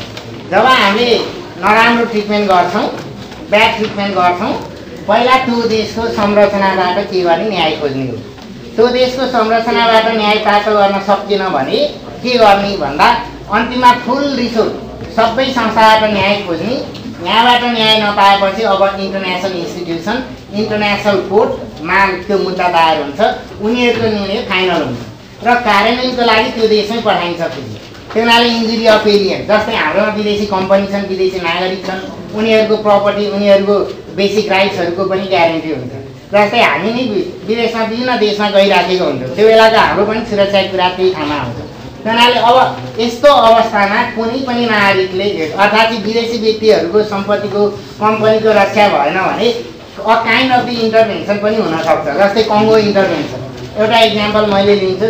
कङ्गोमा के भयो भन्दा एक हजारभन्दा बेसी विदेशी व्यक्तिहरूलाई चाहिँ होस्टेज बनायो रिभेलियनहरूले त्यहाँको सरकारले सकेन नसकेपछि विदेशीलाई बोलायो। बोलाएपछि अहिलेसम्म पनि कङ्गोमा विदेशीहरूले यति प्ले गरे यति प्ले गरे कहिले एउटा आउँछ कहिले अर्को आउँछ कहिले एउटाले छोड्छ कहिले अर्को जान्छ गर्दा त्यो भनेको रियल्ली तपाईँको भनौँ न एउटा युद्धको भनौँ न प्र्याक्टिस गर्ने ठाउँ बनाइदियो र अन्तिममा चाहिँ युएनले पनि बाध्य भएर के गर्यो भन्दा त्यस्तो किसिमको तपाईँको ह्युमेनिटेरियन इन्टरभेन्सनको नाममा त्यस्तो किसिमको इन्टरभेन्सन पनि गर्नु हुँदैन तर हुँदैन भने पनि हुन्छ। जस्तै आफ्नो नागरिकहरूको प्रोटेक्सन भएन आफ्ना कम्पनीहरूको प्रोटेक्सन भएन मल्टिनेसनल कम्पनीजहरूको प्रोटेक्सन भएन विदेशी नागरिकको प्रोटेक्सन भएन भने त्यो ठाउँमा इन्टरभेन्सन हुनसक्छ। इन्टरभेन्सन कहिलेकाहीँ चाहिँ बोलाएर गरिन्छ। बोलाएर कङ्गोको अघि बोलाएर गरेको हो सरकारले बोलाउँछ। हामीले सकेनौँ तिमी आऊ भनेपछि ऊ आउँछ। तर अब विदेशी आएपछि उनीहरू स्ट्रिक्ट हुन्छन् पक्कै हो। मिलिटरी रिलेसनको त्यो हुन्छ। अर्को चाहिँ कहिलेकाहीँ चाहिँ नबोलाइकन पनि अर्को देशले चाहिँ अकुपेसन गर्छ। त्यसको प्रोटेक्सनको हदसम्म तर अब अरू हिसाबले इन्टरभेन्सन अर्थात् कुनै पनि किसिमको वार गर्न पाइँदैन। हुनाले इन्जुरी अफ द एलियन भनेको के हो?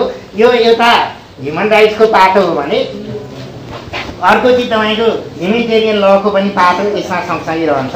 हुनाले अब अब यसको साथसाथमा चाहिँ हामीले एलियन्सको प्रपर्टीलाई पनि तपाईँको हामीले विशेष गरी बेला बेलामा हाम्रो हाम्रोमा एउटा भनौँ न इन्डियन फिल्म एक्टरको विषयमा एकै दिनमा चार अर्ब बराबरको क्षति भएको थियो ऋतिक रोशन भनेको त्यो बेला बेलामा हाम्रोमा आउँछ। जस्तै अब तपाईँको के नेपालीहरू इराकमा मारिए यहाँ आउँदा यहाँको सबै सम्पत्ति एकै दिनमा ध्वस्त बनाइयो यस्तो अवस्था क्रिएट हुन्छ बेला बेला तपाईँको कहिलेकाहीँ युद्धरत बेला समयमा पनि यस्तो अवस्था क्रिएट हुनसक्छ सपोज दुईवटा देशमाथि फाइट गर्न लागे एउटाले अर्को एउटा देशका जनताले अर्को त्यो युद्ध गर्ने देशकालाई चाहिँ हेला गर्ने कुटपिट गर्ने यस्तो हुनसक्छ त्यसको ठाउँमा प्रोटेक्सन गर्ने।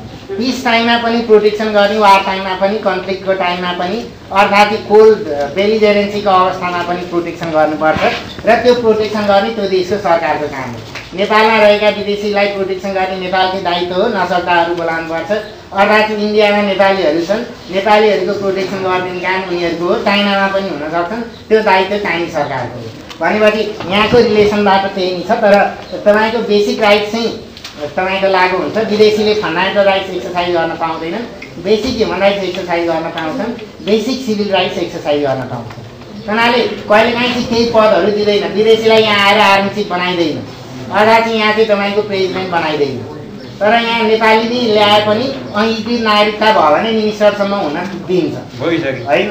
त्यस्तो अवस्था चाहिँ हाम्रो कानुनले नै दिन्छ। विश्वभरि सिस्टमै त्यही हो।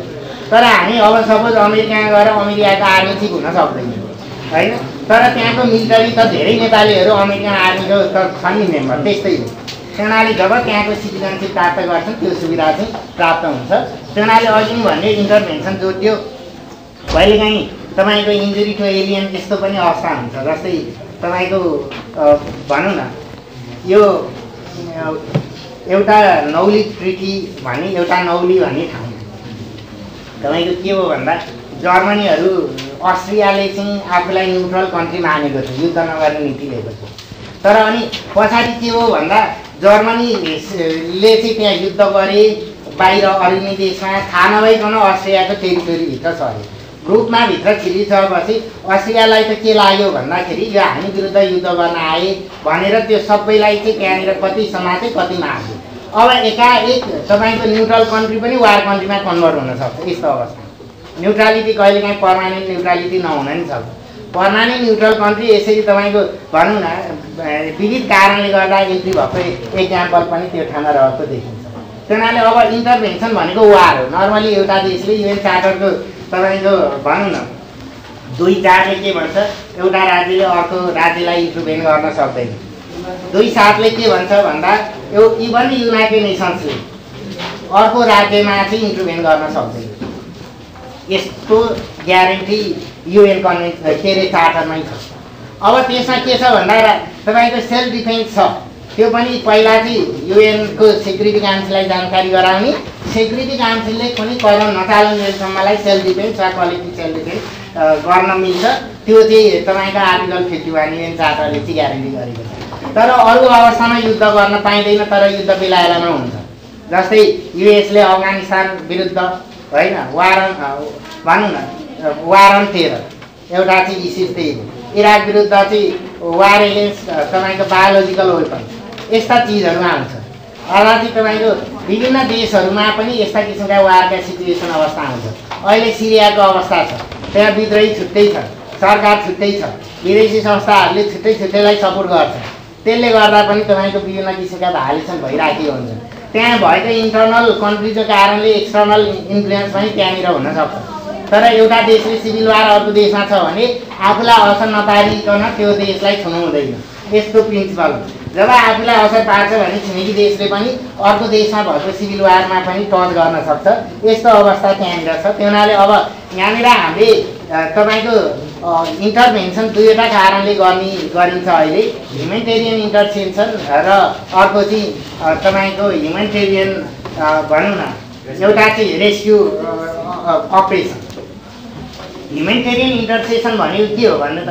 दुईवटाको बिचमा बस्ने दुईवटालाई युद्ध हुन न अवस्था क्रिएट नगर्ने। होइन? अब त्यसमा चाहिँ के छ भन्दा उसले सकेसम्म मिलाइदिन्छ। तपाईँको दुईवटा युद्ध र नहुन्। तिनीहरू मिल भनेर त्यस्तो अवस्था क्रिएट गर्छ। अनि अर्कोमा चाहिँ के गर्छ भन्दा त्यो ठाउँमा चाहिँ केही रिकभरी सिचुएसन अलिकति फोर्स प्रयोग गर्ने। युएनले भन्दा चाहिँ एउटा पिस किपिङ र पिस एन्फोर्सिङ भन्ने। पिस किपिङ युएनले गर्ने हो। अरू देशले पनि यो ठाउँमा चाहिँ युएन बाहेक यस्ता एजेन्सी बाहेक अरू कन्ट्री पनि ह्युमेनिटेरियन इन्टरसेसन र रेस्क्यु अपरेसनमा जान सक्छ। रेस्क्यु अपरेसन भनेको अघि नै कङ्गो जस्तै। एक हजार उस्टेज भयो अर्को देशलाई रेस्क्यु गर्न भयो। रेस्क्यु गरेर फर्की गए सकिन्छ त्यहीँ बस्दिन्छ त्यसले चाहिँ फेरि लङ टर्म इफेक्ट चाहिँ कहाँनिर रहन्छ अहिले मोरल संरचना के हुन्छ? ट्रिटीको पालना नगरेको आफ्ना देशको नागरिकको प्रोटेक्सन नगरेको आफ्नो देशका कम्पनीको सुरक्षा नगरिदिएको अनि आफ्नो प्रोटेक्टोरेट स्टेटहरू अनि त्यसमा चाहिँ अब त्यहाँको सिभिल वारले आफ्नो देशका जनतालाई असर पारेको यसको विविध रूपबाट चाहिँ तपाईँको अर्को देशलाई चाहिँ इन्ट्रुभेन्ट गरिराखेको हुन्छ। अकुपेसन गरेको हुन्छ। पहिला पहिला त जितेर आफ्नै देश बनाउँथे अहिले आफ्नो देशै बनाउन चाहिँ सक्दैन। त्यहाँले यो चाहिँ एउटा चिजहरू यति अवस्था त्यहाँनिर छ। त्यहाँले अब अर्कोमा चाहिँ युएन चार्टरमा अघि नै भने सार्वजनिक युद्धलाई काहीँ पनि ठाउँ दिएको छैन। लिग पनि युद्ध नगर्नु भन्थ्यो। अर्थात् ब्रियड प्याकले पनि युद्ध नगर्नु भन्थ्यो। पेरिस प्याकले पनि युद्ध नगर्नु भन्थ्यो। युएनले पनि युद्ध नगर्नु भने हुन्छ तर युद्ध रोकिया छ त छैन। नाइन्टिन नाइन्टी वानमा इराक युद्ध थियो। कहिले गल्फ वार हुन्छ। कहिलेकाहीँ चाहिँ इराक कुवेत युद्ध हुन्छ होइन? कहिलेकाहीँ तपाईँको भनौँ न अब युएस अफगानिस्तान युद्ध हुन्छ कहिले युएस इराक युद्ध हुन्छ यसरी कहिलेकाहीँ लिबिया युएस अर्थात् नेटो यस एसेट्रा यस्ता किसिमका युद्धको संरचना विश्वमा भइराखेको छ। सिद्धान्त त युद्धलाई इलिगल घोषित गरिएको छ। तपाईँको युएनले जुन इन्टरभेन्सन गरेको छ वास्तवमा त्यो युद्ध होइन। त्यसलाई त्यो भनेको चाहिँ तपाईँको बिचमा बसेर युद्धलाई रोक्ने हो अर्थात् इन्टरनेसनल पिस अर्डरमा दखल भयो भने त्यसबाट चाहिँ रिस्टोर पिस कायम गर्ने हो रिस्टोर गर्ने हो। त्यस्तो उद्देश्य यहाँनिर राखेको छ। अब यहाँनिर the members of the vulnerable group. को हुन् भर्नरेबल ग्रुप? भर्नरेबल ग्रुप भनेको जो आफ्नो सुरक्षा आफै गर्न सक्दैन। बाल बच्चा यहीँ टाइटल नै जान्छ। बच्चाहरू अर्थात् चाहिँ बाल बच्चाहरू भर्नरेबल ग्रुप हुन्। त्यसपछि माइनोरिटिजहरू भर्नरेबल ग्रुप हुन्। तपाईँको वुमेनहरू भर्नरेबल ग्रुप हुन्। अझै वुमेनमा पनि प्रेग्नेन्ट वुमेन सानो बच्चाहरू भएका वुमेन उनीहरू अझै भर्नरेबल ग्रुप हुन्छ रिफ्युजीहरू इन्टरनली डिस्प्लेस पर्सनहरू भर्नरेबल ग्रुपहरू हुन्। त्यहाँले यस्ता ग्रुपहरूको सुरक्षा इभन गर्नुपर्छ हरेक टाइममा नेचुरल क्यालेन्टिजको समयमा होस् वारको समयमा होस्। वा पिसको समयमा होस् यस्ता व्यक्तिहरूको अर्थात् समूहहरूको सुरक्षा गर्नुपर्छ राज्यको दायित्व। त्यो हुनाले राज्यको दायित्वमा राइट्स अफ चिल्ड्रेन तपाईँको कन्भेन्सन म राइट्स अफ चिल्ड्रेनलाई हेर्नको लागि हामीसँग सिआरसी अर्थात् convention on rights of child nineteen eighty nine. अनि टु थाउजन्डमा यसका अप्सल प्रोटोकल दुईवटा छन्। एउटा चाहिँ बाल बच्चालाई चाहिँ आर्म कन्फ्लिक्टमा प्रयोग गर्न नपाउने प्रोटोकल छ अर्को त्यही वर्षमा चाहिँ अर्को चाहिँ जस्तै अर्को चाहिँ प्रस्टिट्युसनमा प्रयोग गर्न नपाउने अर्को प्रोटोकल छ। अनि दुई हजार चौधमा अर्को एउटा प्रोटोकल पास गरेको छ इन्डिभिजुअल कम्युनिकेसन सिस्टम बाल बच्चाको रक्षा भएन भने इन्डिभिजुअल कम्युनिकेसनको सिस्टममा चाहिँ सिआरसी अन्तर्गत कमिटी छ र त्यो कमिटी अन्तर्गत सिधै हामीले युएनमा लान सक्छौँ। दुई हजार चौध पछि हामी त्यसको मेम्बर छैन इन्डिभिजुअल कम्युनिकेसन सिस्टमको त्यहाँले यसकै इस्युजहरू चिल्ड्रेन राइट्सको प्रोटेक्सन छ छ हरेक हिसाबले। अब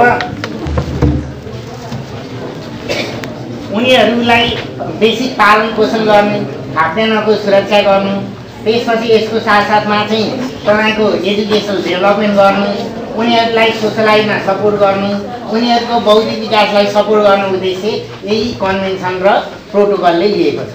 हुनाले उनीहरूकै प्रोटेक्सनको लागि यो कुरा राखेको हो। यो चाहिँ विश्वका किनकि पिस टाइममा नेचुरल क्यालेमिटीमा वा टाइममा सबभन्दा पीडित व्यक्ति नै बालबच्चा हुन्छ।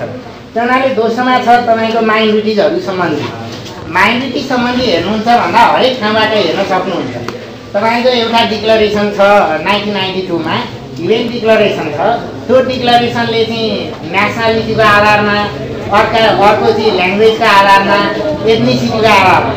तपाईँको माइनोरिटी बन्छ उनीहरूको सुरक्षा गर्नुपर्छ भनेको छ। तर त्यो मात्र होइन racial convention nineteen seventy five होइन? अर्थात् त्यसपछि वुमन कन्भेन्सन सेरा सेराको डिक्लरेसन छ नाइन्टिन सिक्सटी सेभेन अनि कन्भेन्सन छ नाइन्टिन सेभेन्टी नाइन त्यसले। अनि तपाईँको अर्को एपार्थेट सम्बन्धी एन्टी एपार्थेट कन्भेन्सन छ नाइन्टिन सेभेन्टी थ्री त्यसले पनि माइनोरिटीको प्रोटेक्सन गर्छ। नाइन्टिन एट्टी फाइभमा तपाईँको स्पोर्ट्समा चाहिँ एपा एपार्थेट सम्बन्धी कलरको आधारमा डिस्क्रिमिनेसन गर्न नपाउने कन्भेन्सन छ। अनि ILO convention one six nine छ।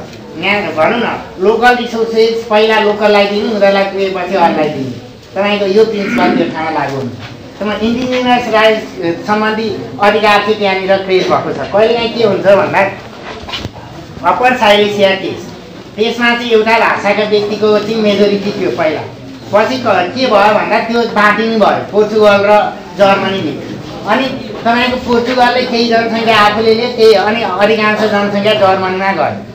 जब जर्मनीमा गा गाभ्यो अब पहिला त्यो छुट्टै मेजोरिटी भएको भाषा भाषाको जनताहरू अब माइनोरिटीमा बदलियो। त्यो बेला अनि नाइन्टिन ट्वेन्टी ट्वेन्टी टूमा एउटा कन्भेन्सन नै पास गरियो अप्पर साइलेसिया सम्बन्धी। किनकि त्यो जनताको प्रोटेक्सनको लागि माइनोरिटीको प्रोटेक्सनको लागि तर माइनोरिटी जो पनि हुन्छ जहाँ विभिन्न हाम्रोमा त भनौँ न एक सय चौबिसवटा तपाईँको जातिहरू छन्। भाषा भाषाहरू छन्। जाति एक सय सत्ताइस अझ त्योभन्दा बेसी माथि भनिएको छ। र अब त्यति भन्दाखेरि सबैलाई छुट्टा छुट्टै हेर्ने हो भने माइनोरिटी हुन्छ। उनीहरूको प्रोटेक्सन गर्नुपर्छ। ल्याङ्ग्वेजको प्रोटेक्सन एथनिसिटीको प्रोटेक्सन नेसनलिटीको प्रोटेक्सन इत्यादि हरेक देशले चाहिँ गर्नुपर्ने बाध्यता अहिले विश्वको छ। हुनाले माइनोरिटीको प्रोटेक्सनको इस्यु हरेक ठाउँमा रहन्छ। अनि अर्कोमा चाहिँ advancement of the woman woman सम्बन्धी कन्भेन्सन पहिला चाहिँ तपाईँको कति वुमनलाई जाहिरै नदिनु। मिलिटरी सेक्टरमा जाहिरै हामीले भर्खरै दिन लागेको छ। पुलिसमा जाहिरै थिएन। अहिले पनि कतिपय देशले दिँदैन। अब कतिपय ठाउँमा म्यारिड गर्ललाई चाहिँ जाहिरै दिँदैन। त्यस्तो डिस्क्रिमिनेसन गर्न पाइँदैन। हालैमा पनि एयर होस्टेजको इस्यु इस्यु छ। रिना बल्लाचारीको केस? तपाईँको अब भनौँ न रिटायरमेन्टको उमेरै फरक। महिलालाई छुट्टै पुरुषलाई छुट्टै। अब राम्रो हुन्जेलसम्म गाडी दिनु पछि नदिनु। होइन यही कुरा उठाएको उनीहरूले त्यस्तो किसिमको डिस्क्रिमिनेसन गर्नु हुँदैन। भन्ने। अब अहिले हामीसँग तपाईँको वुमेन कन्भेन्सन छ नाइन्टिन सेभेन्टी नाइनमा अनि यसको अप्सनल प्रोटोकल छ। Nineteen ninety nine. अप्सनल प्रोटोकलले इन्डिभिजुअल कम्युनिकेसनलाई जोड दिन्छ। हुनाले पहिलो छ। त्यसले चाहिँ कुनै पनि महिलाहरूले यहाँ दुःख पायो भने त्यो चिजलाई चाहिँ हामीले इन्टरनेसनल फोरममा त्यस अन्तर्गत डाइरेक्ट कम्युनिकेट गर्न सक्छौँ। पहिला हामीले राज्यबाट स्वीकृति लिन्छौँ। राज्यले केही गर्न स गरेन भने हामी इन्टरनेसनल फोरममा जान्छौँ। इन्टरनेसनल फोरमले हाम्रो प्रोटेक्सन गर्छ। त्यस्तो अवस्था त्यो ठाउँमा रहन्छ। अर्कोमा चाहिँ हामीसँग refugee U UN high commissioner for refugee UNHCR छ। पहिला चाहिँ इन्टरनेसनल रिफ्युजी अर्गनाइजेसन बन्यो तपाईँको नाइन्टिन फोर्टी सेभेनमा त्यो हुनाले पछि नाइन्टिन फिफ्टीमा आएर के भयो भन्नुहुन्छ भन्दा त्यो बेला चाहिँ अहिले युएनएसिआर भनेर फर्मली इस्टाब्लिस गरियो। अनि त्यसैको इनिसिएसनमा नाइन्टिन फिफ्टी वानमा चाहिँ तपाईँको रिफ्युजी कन्भेन्सन बनाइयो। भनौँ convention on the protection of the refugee तपाईँको नाइन्टिन फिफ्टी वान बनाइयो। अनि त्यो त्यसमा के भनेको थियो भन्दा युरोपका रिफ्युजीलाई मात्र लागु हुने भनेको थियो त्यो कहिलेसम्म भन्दा अनि नाइन्टिन सिक्सटी सेभेनमा अर्को प्रोटोकल बनायो। युएन अ, त्यही प्रोटोकल रिफ्युजी कन्भेन्सनको लागि प्रोटोकल नाइन्टिन सिक्सटी सेभेनमा बनायो। त्यसले चाहिँ विश्वभरिका रिफ्युजीलाई कभर गर्यो। त्यो हुनाले अहिले चाहिँ जो जो त्यो प्रोटोकलका मेम्बर छन् र त्यो चाहिँ विश्व हामी त त्यो दुइटैको मेम्बर छैनौँ। त्यही पनि हामीले चाहिँ हाम्रोमा हाम्रोमा भुटनिज रिफ्युजिजहरू छन् टिबेटन रिफ्युजिजहरू छन्। टिबेटिनहरू त धेरै रिप्याट्रिएट भए भुटनिजहरू केही रिप्याट्रिएट विदेशमा हुने चरणमा छन्। हाम्रोले यहाँभित्र दिएको अवस्था छैन। र केही रिफ्युजीहरू हामी भुटान नै फर्किने भनेर बसिराखेका छौँ। भनेपछि त्यसको सुरक्षा चाहिँ म्यान्डेटको आधारमा गर्छ। पहिला पनि हामीले म्यान्डेट बेसिसमा नाइन्टिन सिक्सटी नाइनमा नै यो युएनएसिआरलाई यहाँ बोलायौँ। त्यस अब भुट्ने रिफ्युजीको केसमा चाहिँ नाइन्टिन नाइन्टिज पछि हामी फेरि बोलायौँ। पोलिटिकल चेन्ज भएपछि हाम्रोमा रिफ्युजी प्रब्लम आइराखेको छ। तर अहिले केही रिफ्युजीको प्रब्लम छ जस्तै हामी दिँदैनौँ तर युएनएसिआरले रिफ्युजी स्टेटस दिन्छ। कहिले अफ्रिकाबाट आउँछन् कहिले तपाईँको पाकिस्तानबाट आउँछन् अनि त्यो मुद्दा पर्छ अनि अब अदालतले त्यसलाई इन्डोज गरे ठिकै छ अनि नेपाल नेपाल सरकार र युएनएसिआर बिच कन्फ्लिक्ट हुन्छ। तिमीलाई म्यान्डेटै छैन भन्दा तिमीले बोलाएर आएको हामीलाई म्यान्डेट छ भन्छ। अब नेपाल सरकार हाम्रो अधिकारको कुरा हो तिम्रो अधिकार होइन। हामीलाई बोलाएपछि हाम्रो पनि अधिकार हो भन्छ अन्तिममा केसमा जान्छ। कति ठाउँमा अदालतले त्यसलाई इन्डोज गर्छ कति ठाउँमा दिँदैन त्यस्तो अवस्था पनि छ। अर्को धेरै तपाईँको इन्टरनेसनल ह्युमन राइट्स इन्स्ट्रुमेन्ट छन्। यहाँ तल कभर नहुनेलाई मैले पहिला भन्छु। जस्तै इमिग्रेसन सम्बन्धी अर्थात् इमिग्रान्टहरू इमिग्रान्टका फ्यामिलीहरूको प्रोटेक्सन सम्बन्धी कन्भेन्सन छ नाइन्टिन नाइन्टी अब देशले चाहिँ के गर्छ विदेशमा चाहिँ काम गर्न गएका व्यक्ति उसका फ्यामिलीहरूको सुरक्षा। भिजादेखि प्रोसेसदेखि त्यसको प्रोटेक्सन गर्छ। अनि टु थाउजन्ड सिक्समा चाहिँ एन्फोर्स डिसपियरेन्स सम्बन्धी एउटा कन्भेन्सन छ। अनि फिजिकली डिसेबल डिसेबिलिटी भएका व्यक्तिहरूको प्रोटेक्सन सम्बन्धी छ। अब वास्तवमा हामीले डिसेबल भन्नु हुँदैन तपाईँको इस्युबाट। तपाईँ डिफ्रेन्टली एबल भनेर प्रयोग हुन्छ शब्दहरू। त्यही त्यो कन्भेन्सन छ टु थाउजन्ड सिक्समा। र त्यसको optional protocol individual communication system छ टु थाउजन्ड सिक्समा त्यसमा चाहिँ कुनै पनि हामीले भनौँ न डिरोगेटरी ट्रिटमेन्ट गऱ्यौँ भने त्यस्ता केसहरू इन्टरनेसनल फोरममा लान सक्छ। त्यही यस्ता चिजहरू यो ठाउँमा चाहिँ कार्यान्वयन भएको छन् त्यस्ता कन्भेन्सन यो ठाउँमा अहिले लागु हुन्छ। युएन चार्टर अब युएन चार्टर अघि मैले भने बेस डकुमेन्ट हो ह्युमन राइट्सको प्रोटेक्सनको लागि। Universal declaration on human rights पनि तपाईँको यो प्रिन्सिपल हो। यस यो प्रिन्सिपलले चाहिँ लिगल म्यान्डेट चाहिँ छैन प्रिन्सिपलको म्यान म्यान्डेट छ। यसैको कार्यान्वयन चाहिँ ICCPR international covenant on civil and political rights nineteen sixty six र international covenant on economic social cultural rights त्यसलाई चाहिँ दिएको छ। र अब नै भने international covenant on economic social cultural राइट्सको two thousand नाइनमा इन्डिभिजुअल कम्युनिकेसन सिस्टम सम्बन्धी के छ तपाईँको अप्सनल प्रोटोकल छ।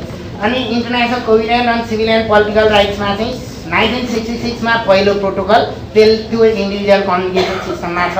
र अर्को चाहिँ तपाईँको नाइन्टिन एटी नाइनमा डेथ पेनाल्टी विरुद्धको इन्डिभि के अरे सिस्टम छ। विरुद्धको प्रोटोकल छ। त्यही त्यसकै टोटालिटीमा चाहिँ यसैलाई हामीले बिल अफ राइट्स भन्छ यसैको एक्सपान्सन छ जस्तै international convention on the elimination of all forms of the racial discrimination. यो नाइन्टिन सिक्सटी फाइभमा एडप्ट गरियो। नाइन्टिन सेभेन्टी नाइनमा यो कार्यान्वयन भयो। र यसले हामीले कुनै पनि जात जाति वर्ग धर्म इत्यादिमा डिस्क्रिमिनेसन गर्न पाइँदैनौँ। कुनै पनि राज्यको संरचनामा। तपाईँको घरभित्र जेसुकै गर्नुहोस्। तर त्यो तपाईँको प्राइभेट प्लेस बाहेक कहीँ पनि तपाईँ हामीले चाहिँ कसैलाई कुनै पनि कलरको आधारमा अरू नै छ। रेसको आधारमा एथनिसिटीको आधारमा ल्याङ्ग्वेजको आधारमा चाहिँ वर्गको आधारमा हामीले चाहिँ डिस्क्रिमिनेसन गर्न पाउँदैनौँ। त्यस्तो कन्भेन्सनमा माथि आइसिसिपिआर र आइसिएसिआरमा धेरै अधिकार दिएको छन् त्यसैको एक्सपान्सन तपाईँको रेसियल पिपलहरूलाई दिएको। युनिभर्सल डिक्लरेसन अन ह्युमन राइट्समा भएका व्यवस्था चाहिँ रेसियल पिपललाई यो कन्भेन्सनले दिएको। अनि अर्को यहाँनिर छ convention in torture in other cruel inhuman or degrading treatment of condition. त्यो नाइन्टिन एटी फाइभ।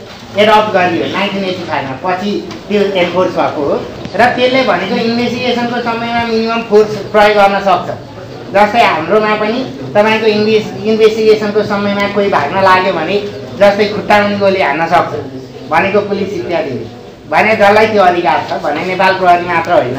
विभिन्न अरू अरू एजेन्सिजलाई पनि ल इन्फोर्समेन्ट अधिकार प्रदान गरेको छ। तर जब समाइसक्छ समाइसकेपछि उनीहरूको ह्युमेनिटीको प्रोटेक्सन हुनुपर्छ टर्चर दिन पाइँदैन। त्यही यदि त्यस्तो टर्चर दिँदाखेरि तपाईँको अहिले यसमा टु थाउजन्ड टूमा इन्डिभिजुअल कम्युनिकेसन सिस्टम पनि छ।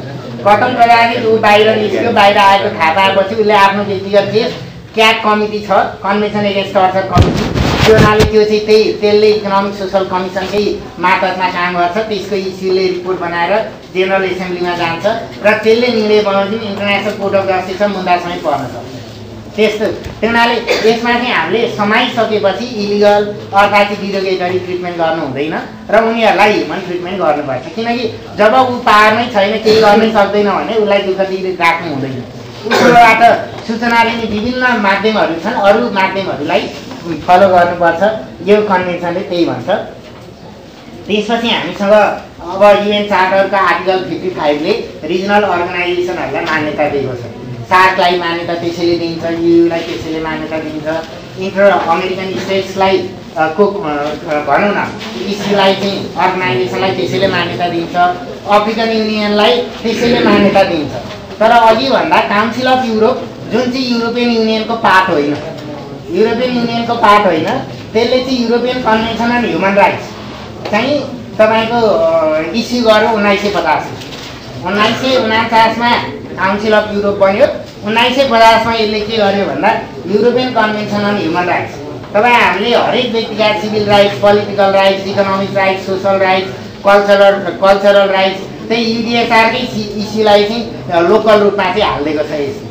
त्यो हुनाले प्लस यसले आफ्नै कोड पनि त्यहाँ व्यवस्था गरेको छ। कमिसनको व्यवस्था गरेको छ। यसले तेह्रवटा प्रोटोकल पास गरिसकेको छ। तेह्रवटा प्रोटोकल मध्ये चाहिँ तपाईँको इन्डिभिजुअल कम्युनिकेसन यसले हालेको छ। विशेष गरी ह्युमन राइट्सको कार्यान्वयन भएन भने अहिले हामीसँग तिनवटा मेथड छ। एउटा चाहिँ इन्टर स्टेट कम्युनिकेसन सिस्टम नेपालमा ग्रेभ ह्युमन राइट्स भाइलेसन भयो भने चाइनाले इन्डियाले हामी विरुद्ध इन्टरनेसनल फोरममा लान सक्छन् कुरा। अर्थात् चाइनामा भयो भने नेपाल र अरू नेबरिङ कन्ट्रीले गर्छ। इन्डियामा भयो भने जो जो ट्रज भएका छन् ती देशले लान सक्छ। भएर एउटा मेथड दोस्रो method commission report. Commission report दुई किसिमका हुन्छन् एउटा चाहिँ गभर्मेन्टले तयार बनाउने रिपोर्ट हुन्छ हरेक कन्भेन्सनको। अर्को प्राइभेट एनजिओहरूले बनाउने रिपोर्ट हुन्छ। त्यही हुनाले त्यो दुइटै रिपोर्टहरूलाई चाहिँ अब ट्याली गरिन्छ। गभर्मेन्टले सब कुरा हाल्दैनन् उनीहरूले बुझ्छ। त्यही हुनाले प्राइभेट सेक्टरका रिपोर्टलाई पनि उनीहरूले एकदम केयरफुली त्यो कुरालाई ध्यान दिन्छ। त्यसपछि तपाईँको छाया रिपोर्ट हो दुईवटा कम्पेरिजन गर्छ। र त्यसकै मात्रामा हाम्रो बारेमा पोलिसी बन्छ एउटा दोस्रो मेथड भयो अनि तेस्रो मेथड भनेको इन्डिभिजुअल कम्युनिकेसन जो पीडित हो पीडित व्यक्तिका कुराहरू नै लोकल रूपमा मैले न्याय पाइनँ भनेर इन्टरनेसनल फोरममा लाने हो। र यसको मेथडबाट तपाईँको इन्टरनेसनल फोरमबाट हामीलाई त्यो ह्युमन राइट्सको कार्यान्वयनको लागि सहयोग पुर्याउँछ यो मध्ये अब यसमा के छ भन्नुहुन्छ भन्दा युरोपियन कन्भेन्सन अन ह्युमन राइट्समा चाहिँ तपाईँको सुरुमा चाहिँ कमिसन थियो European court of human rights establish गर्यो पछि प्रोटोकलले इन्डिभिजुअल कम्युनिकेसनलाई नै एक्सेप्ट गरेको छ। राइट्स भनेको त्यही हो युडिएचआरमा जे जे छ त्यो सबै यसले हाल्यो। दोस्रोमा American convention on human rights अर्को छ। यो नाइन्टिन सिक्सटी नाइनमा बन्यो। यो अर्गनाइजेसन अफ अमेरिकन स्टेट्सले जारी गरेको यसमा नि यसमा के छ भन्दा यसमा चाहिँ inter American court of human rights छुट्टै छ। त्यसपछि कमिसन रिपोर्ट छुट्टै छ। यसले इन्डिभिजुअल कम्युनिकेसन सिस्टमलाई चाहिँ सुरुमा मान्यता दिएको थिएन। तर अहिले पछिल्लो समयमा ग्रेड इस्यु लिँदै गयो भने त्यसलाई पनि मान्यता दिन्छ तर अनि अर्को African convention on human rights यो यो चाहिँ नाइन्टिन एट्टी वानमा जारी गरियो। यो भित्रको बेस डकुमेन्ट के के छ भन्दा तपाईँको जे कुरा माथि हामीले भन्यौँ नि युडिएचआरमा universal declaration on human rights त्यसका सबै चिज छ प्लस यो African कन्भेन्सनमा African charter on people's rights हो। र त्यो चार्टरमा के भन्छन् भन्दाखेरि राइट्स पनि छ ड्युटिज पनि छ। केही ड्युटी चाहिँ हामी हरेक व्यक्तिले पुरा गर्नुपर्छ र राज्यले हामीलाई राइट्स दिन्छ। र तर यसमा कमिसनको मात्र व्यवस्था छ रिपोर्टको लागि। कोर्ट छुट्टै छैन यसको। इन्डिभिजुअल कम्युनिकेसन सिस्टमलाई नै यसले मान्यता दिँदैन। तर अब सार्क लेभलमा अहिलेसम्म हामीसँग छैन कुनै पनि इस्यु तर अब बेला बेलामा कोसिस भएको छ। जस्तै यसमा चाहिँ भनौँ न अब ल कमिटी इन्टरनेसनल ल। कमिटीले यसपछि तपाईँको बेला बेलामा कन्भेन्सन गर्छ। नाइन्टिन सेभेन्टी वानमा एउटा यहाँ कन्फरेन्स भयो। नाइन्टिन सेभेन्टी टूमा नि कन्फरेन्स भयो। अनि त्यसपछि तपाईँको एसियन ह्युमन राइट्स काउन्सिलले नाइन्टिन सेभेन्टी थ्रीमा एउटा कन्फरेन्स गर्यो एउटा बाह्र बुझे स्ट्यान्डर्ड ट्रेड पनि गर्यो तर त्यसपछि हामीसँग राज्यको तर्फबाट छिट्टै एउटा कुनै प्रयास भएको छैन। अब लङ टर्ममा सार्कले गरे छिट्टै हो तर अहिलेसम्म हाम्रोमा यस्ता रिजनल कन्भेन्सन हाम्रोमा बन्ने स्थिति छैन। तर केही कन्भेन्सनहरूलाई सार्कले एडप्ट गरेको छ। जस्तै तपाईँको एन्टी ह्युमन ट्राफिकिङ कन्भेन्सन छ। तपाईँको क्रिमिनल म्याटरमा चाहिँ तपाईँको म्युचुअल लिगल एसिस्टेन्स प्रदान गर्ने कन्भेन्सन छ। तपाईँको चाहिँ इनर्जी चाहिँ जोइन्ट रूपमा चाहिँ विकास गर्ने अनि सार्क सोसल चार्टर भनेर त्यहाँनिर हालेको छ। त्यो हुनाले यसरी विभिन्न चार्टरबाट सार्कले पनि हाल्ने हाल्ने कोसिसमा चाहिँ छ। तर हामीसँग छुट्टै एउटैमा कन्सोलिडेटेड भर्सनमा चाहिँ SAARC convention on human rights छैन। भनेका विभिन्न छरिएर रहेका अन्य कन्भेन्सनहरू तपाईँको सार्कले बनाइराखेको छ। अब हाम्रो नेपालमा के छ स्थिति भन्नुहुन्छ भन्दा तपाईँको अहिले हाम्रो संविधान नेपालको संविधानको तपाईँको फन्डामेन्टल राइट्सका व्यवस्था धेरै ह्युमन राइट्सका इस्युलाई कभर गर्छ। Freedom of speech expression right to housing right to property right to privacy right against exile तपाईँका यस्ता धेरै छन्। उनीहरूले हाम्रोमा ड्युटी समेत हालेको छ अहिले पहिलोचोटि उनीहरूले हामीलाई धेरै राइट छ ह्युमन राइट्सको प्रोटेक्सन यसबाट पनि हुन्छ। अनि लिगल राइट्समा पनि ग्यारेन्टी छ। केस ल भनेको छ हाम्रोमा अदालतले तपाईँको केही नजिर पनि खोजेको छ लास्ट इस्युमा त्यो नजिरमा चाहिँ अब धेरै केसहरू छन्। तपाईँको अब महिला सम्बन्धी अहिले हामीसँग मुलुकी भनौँ न क्रिमिनल कोड सिभिल कोड अर्थात् पेनल कोड अनि criminal procedural code civil procedural code धेरै वुमेन फ्रेन्डली तपाईँको कानुन बनेको छ। कारण तपाईँको भनौँ न दुई हजार छ्यालिस साल पछि पछिका धेरै केसहरू धेरै वुमेन एक्टिभिस्टहरूले मुद्दा दायर गरे। दायर गर्दा तपाईँको पुरानो मौलिक ऐनमा बाध्यका कुराहरू प्रपर्टी पहिला यस्तो व्यवस्था थियो। जस्तै प्रपर्टी अधिकार हुने तर पैँतिस वर्ष क्रस गर्नुपर्ने अनि फेरि अनि पछि प्रपर्टी अधिकार हुने तर बिहा गरेपछि फिर्ता हुनुपर्ने। यस्ता व्यवस्था थियो। अहिले त्यो सबै खारिज भएको छ। रिना बदलाचारीको अहिले नि केस मैले भनिहालेँ। तपाईँको चाहिँ तपाईँको डिस्क्रिमिनेसन गर्ने मेल र फिमेलको लागि रिटायरमेन्ट त्यो पनि ह्युमन राइट्स विरुद्धकै थियो। अब छाउपट्टि सिस्टम तपाईँको दिलबहादुर विश्वकर्माको मुद्दा थियो अहिले त तपाईँको ऐनमा नै त्यसलाई क्रिमिनलाइजै पनि भइसकेको छ।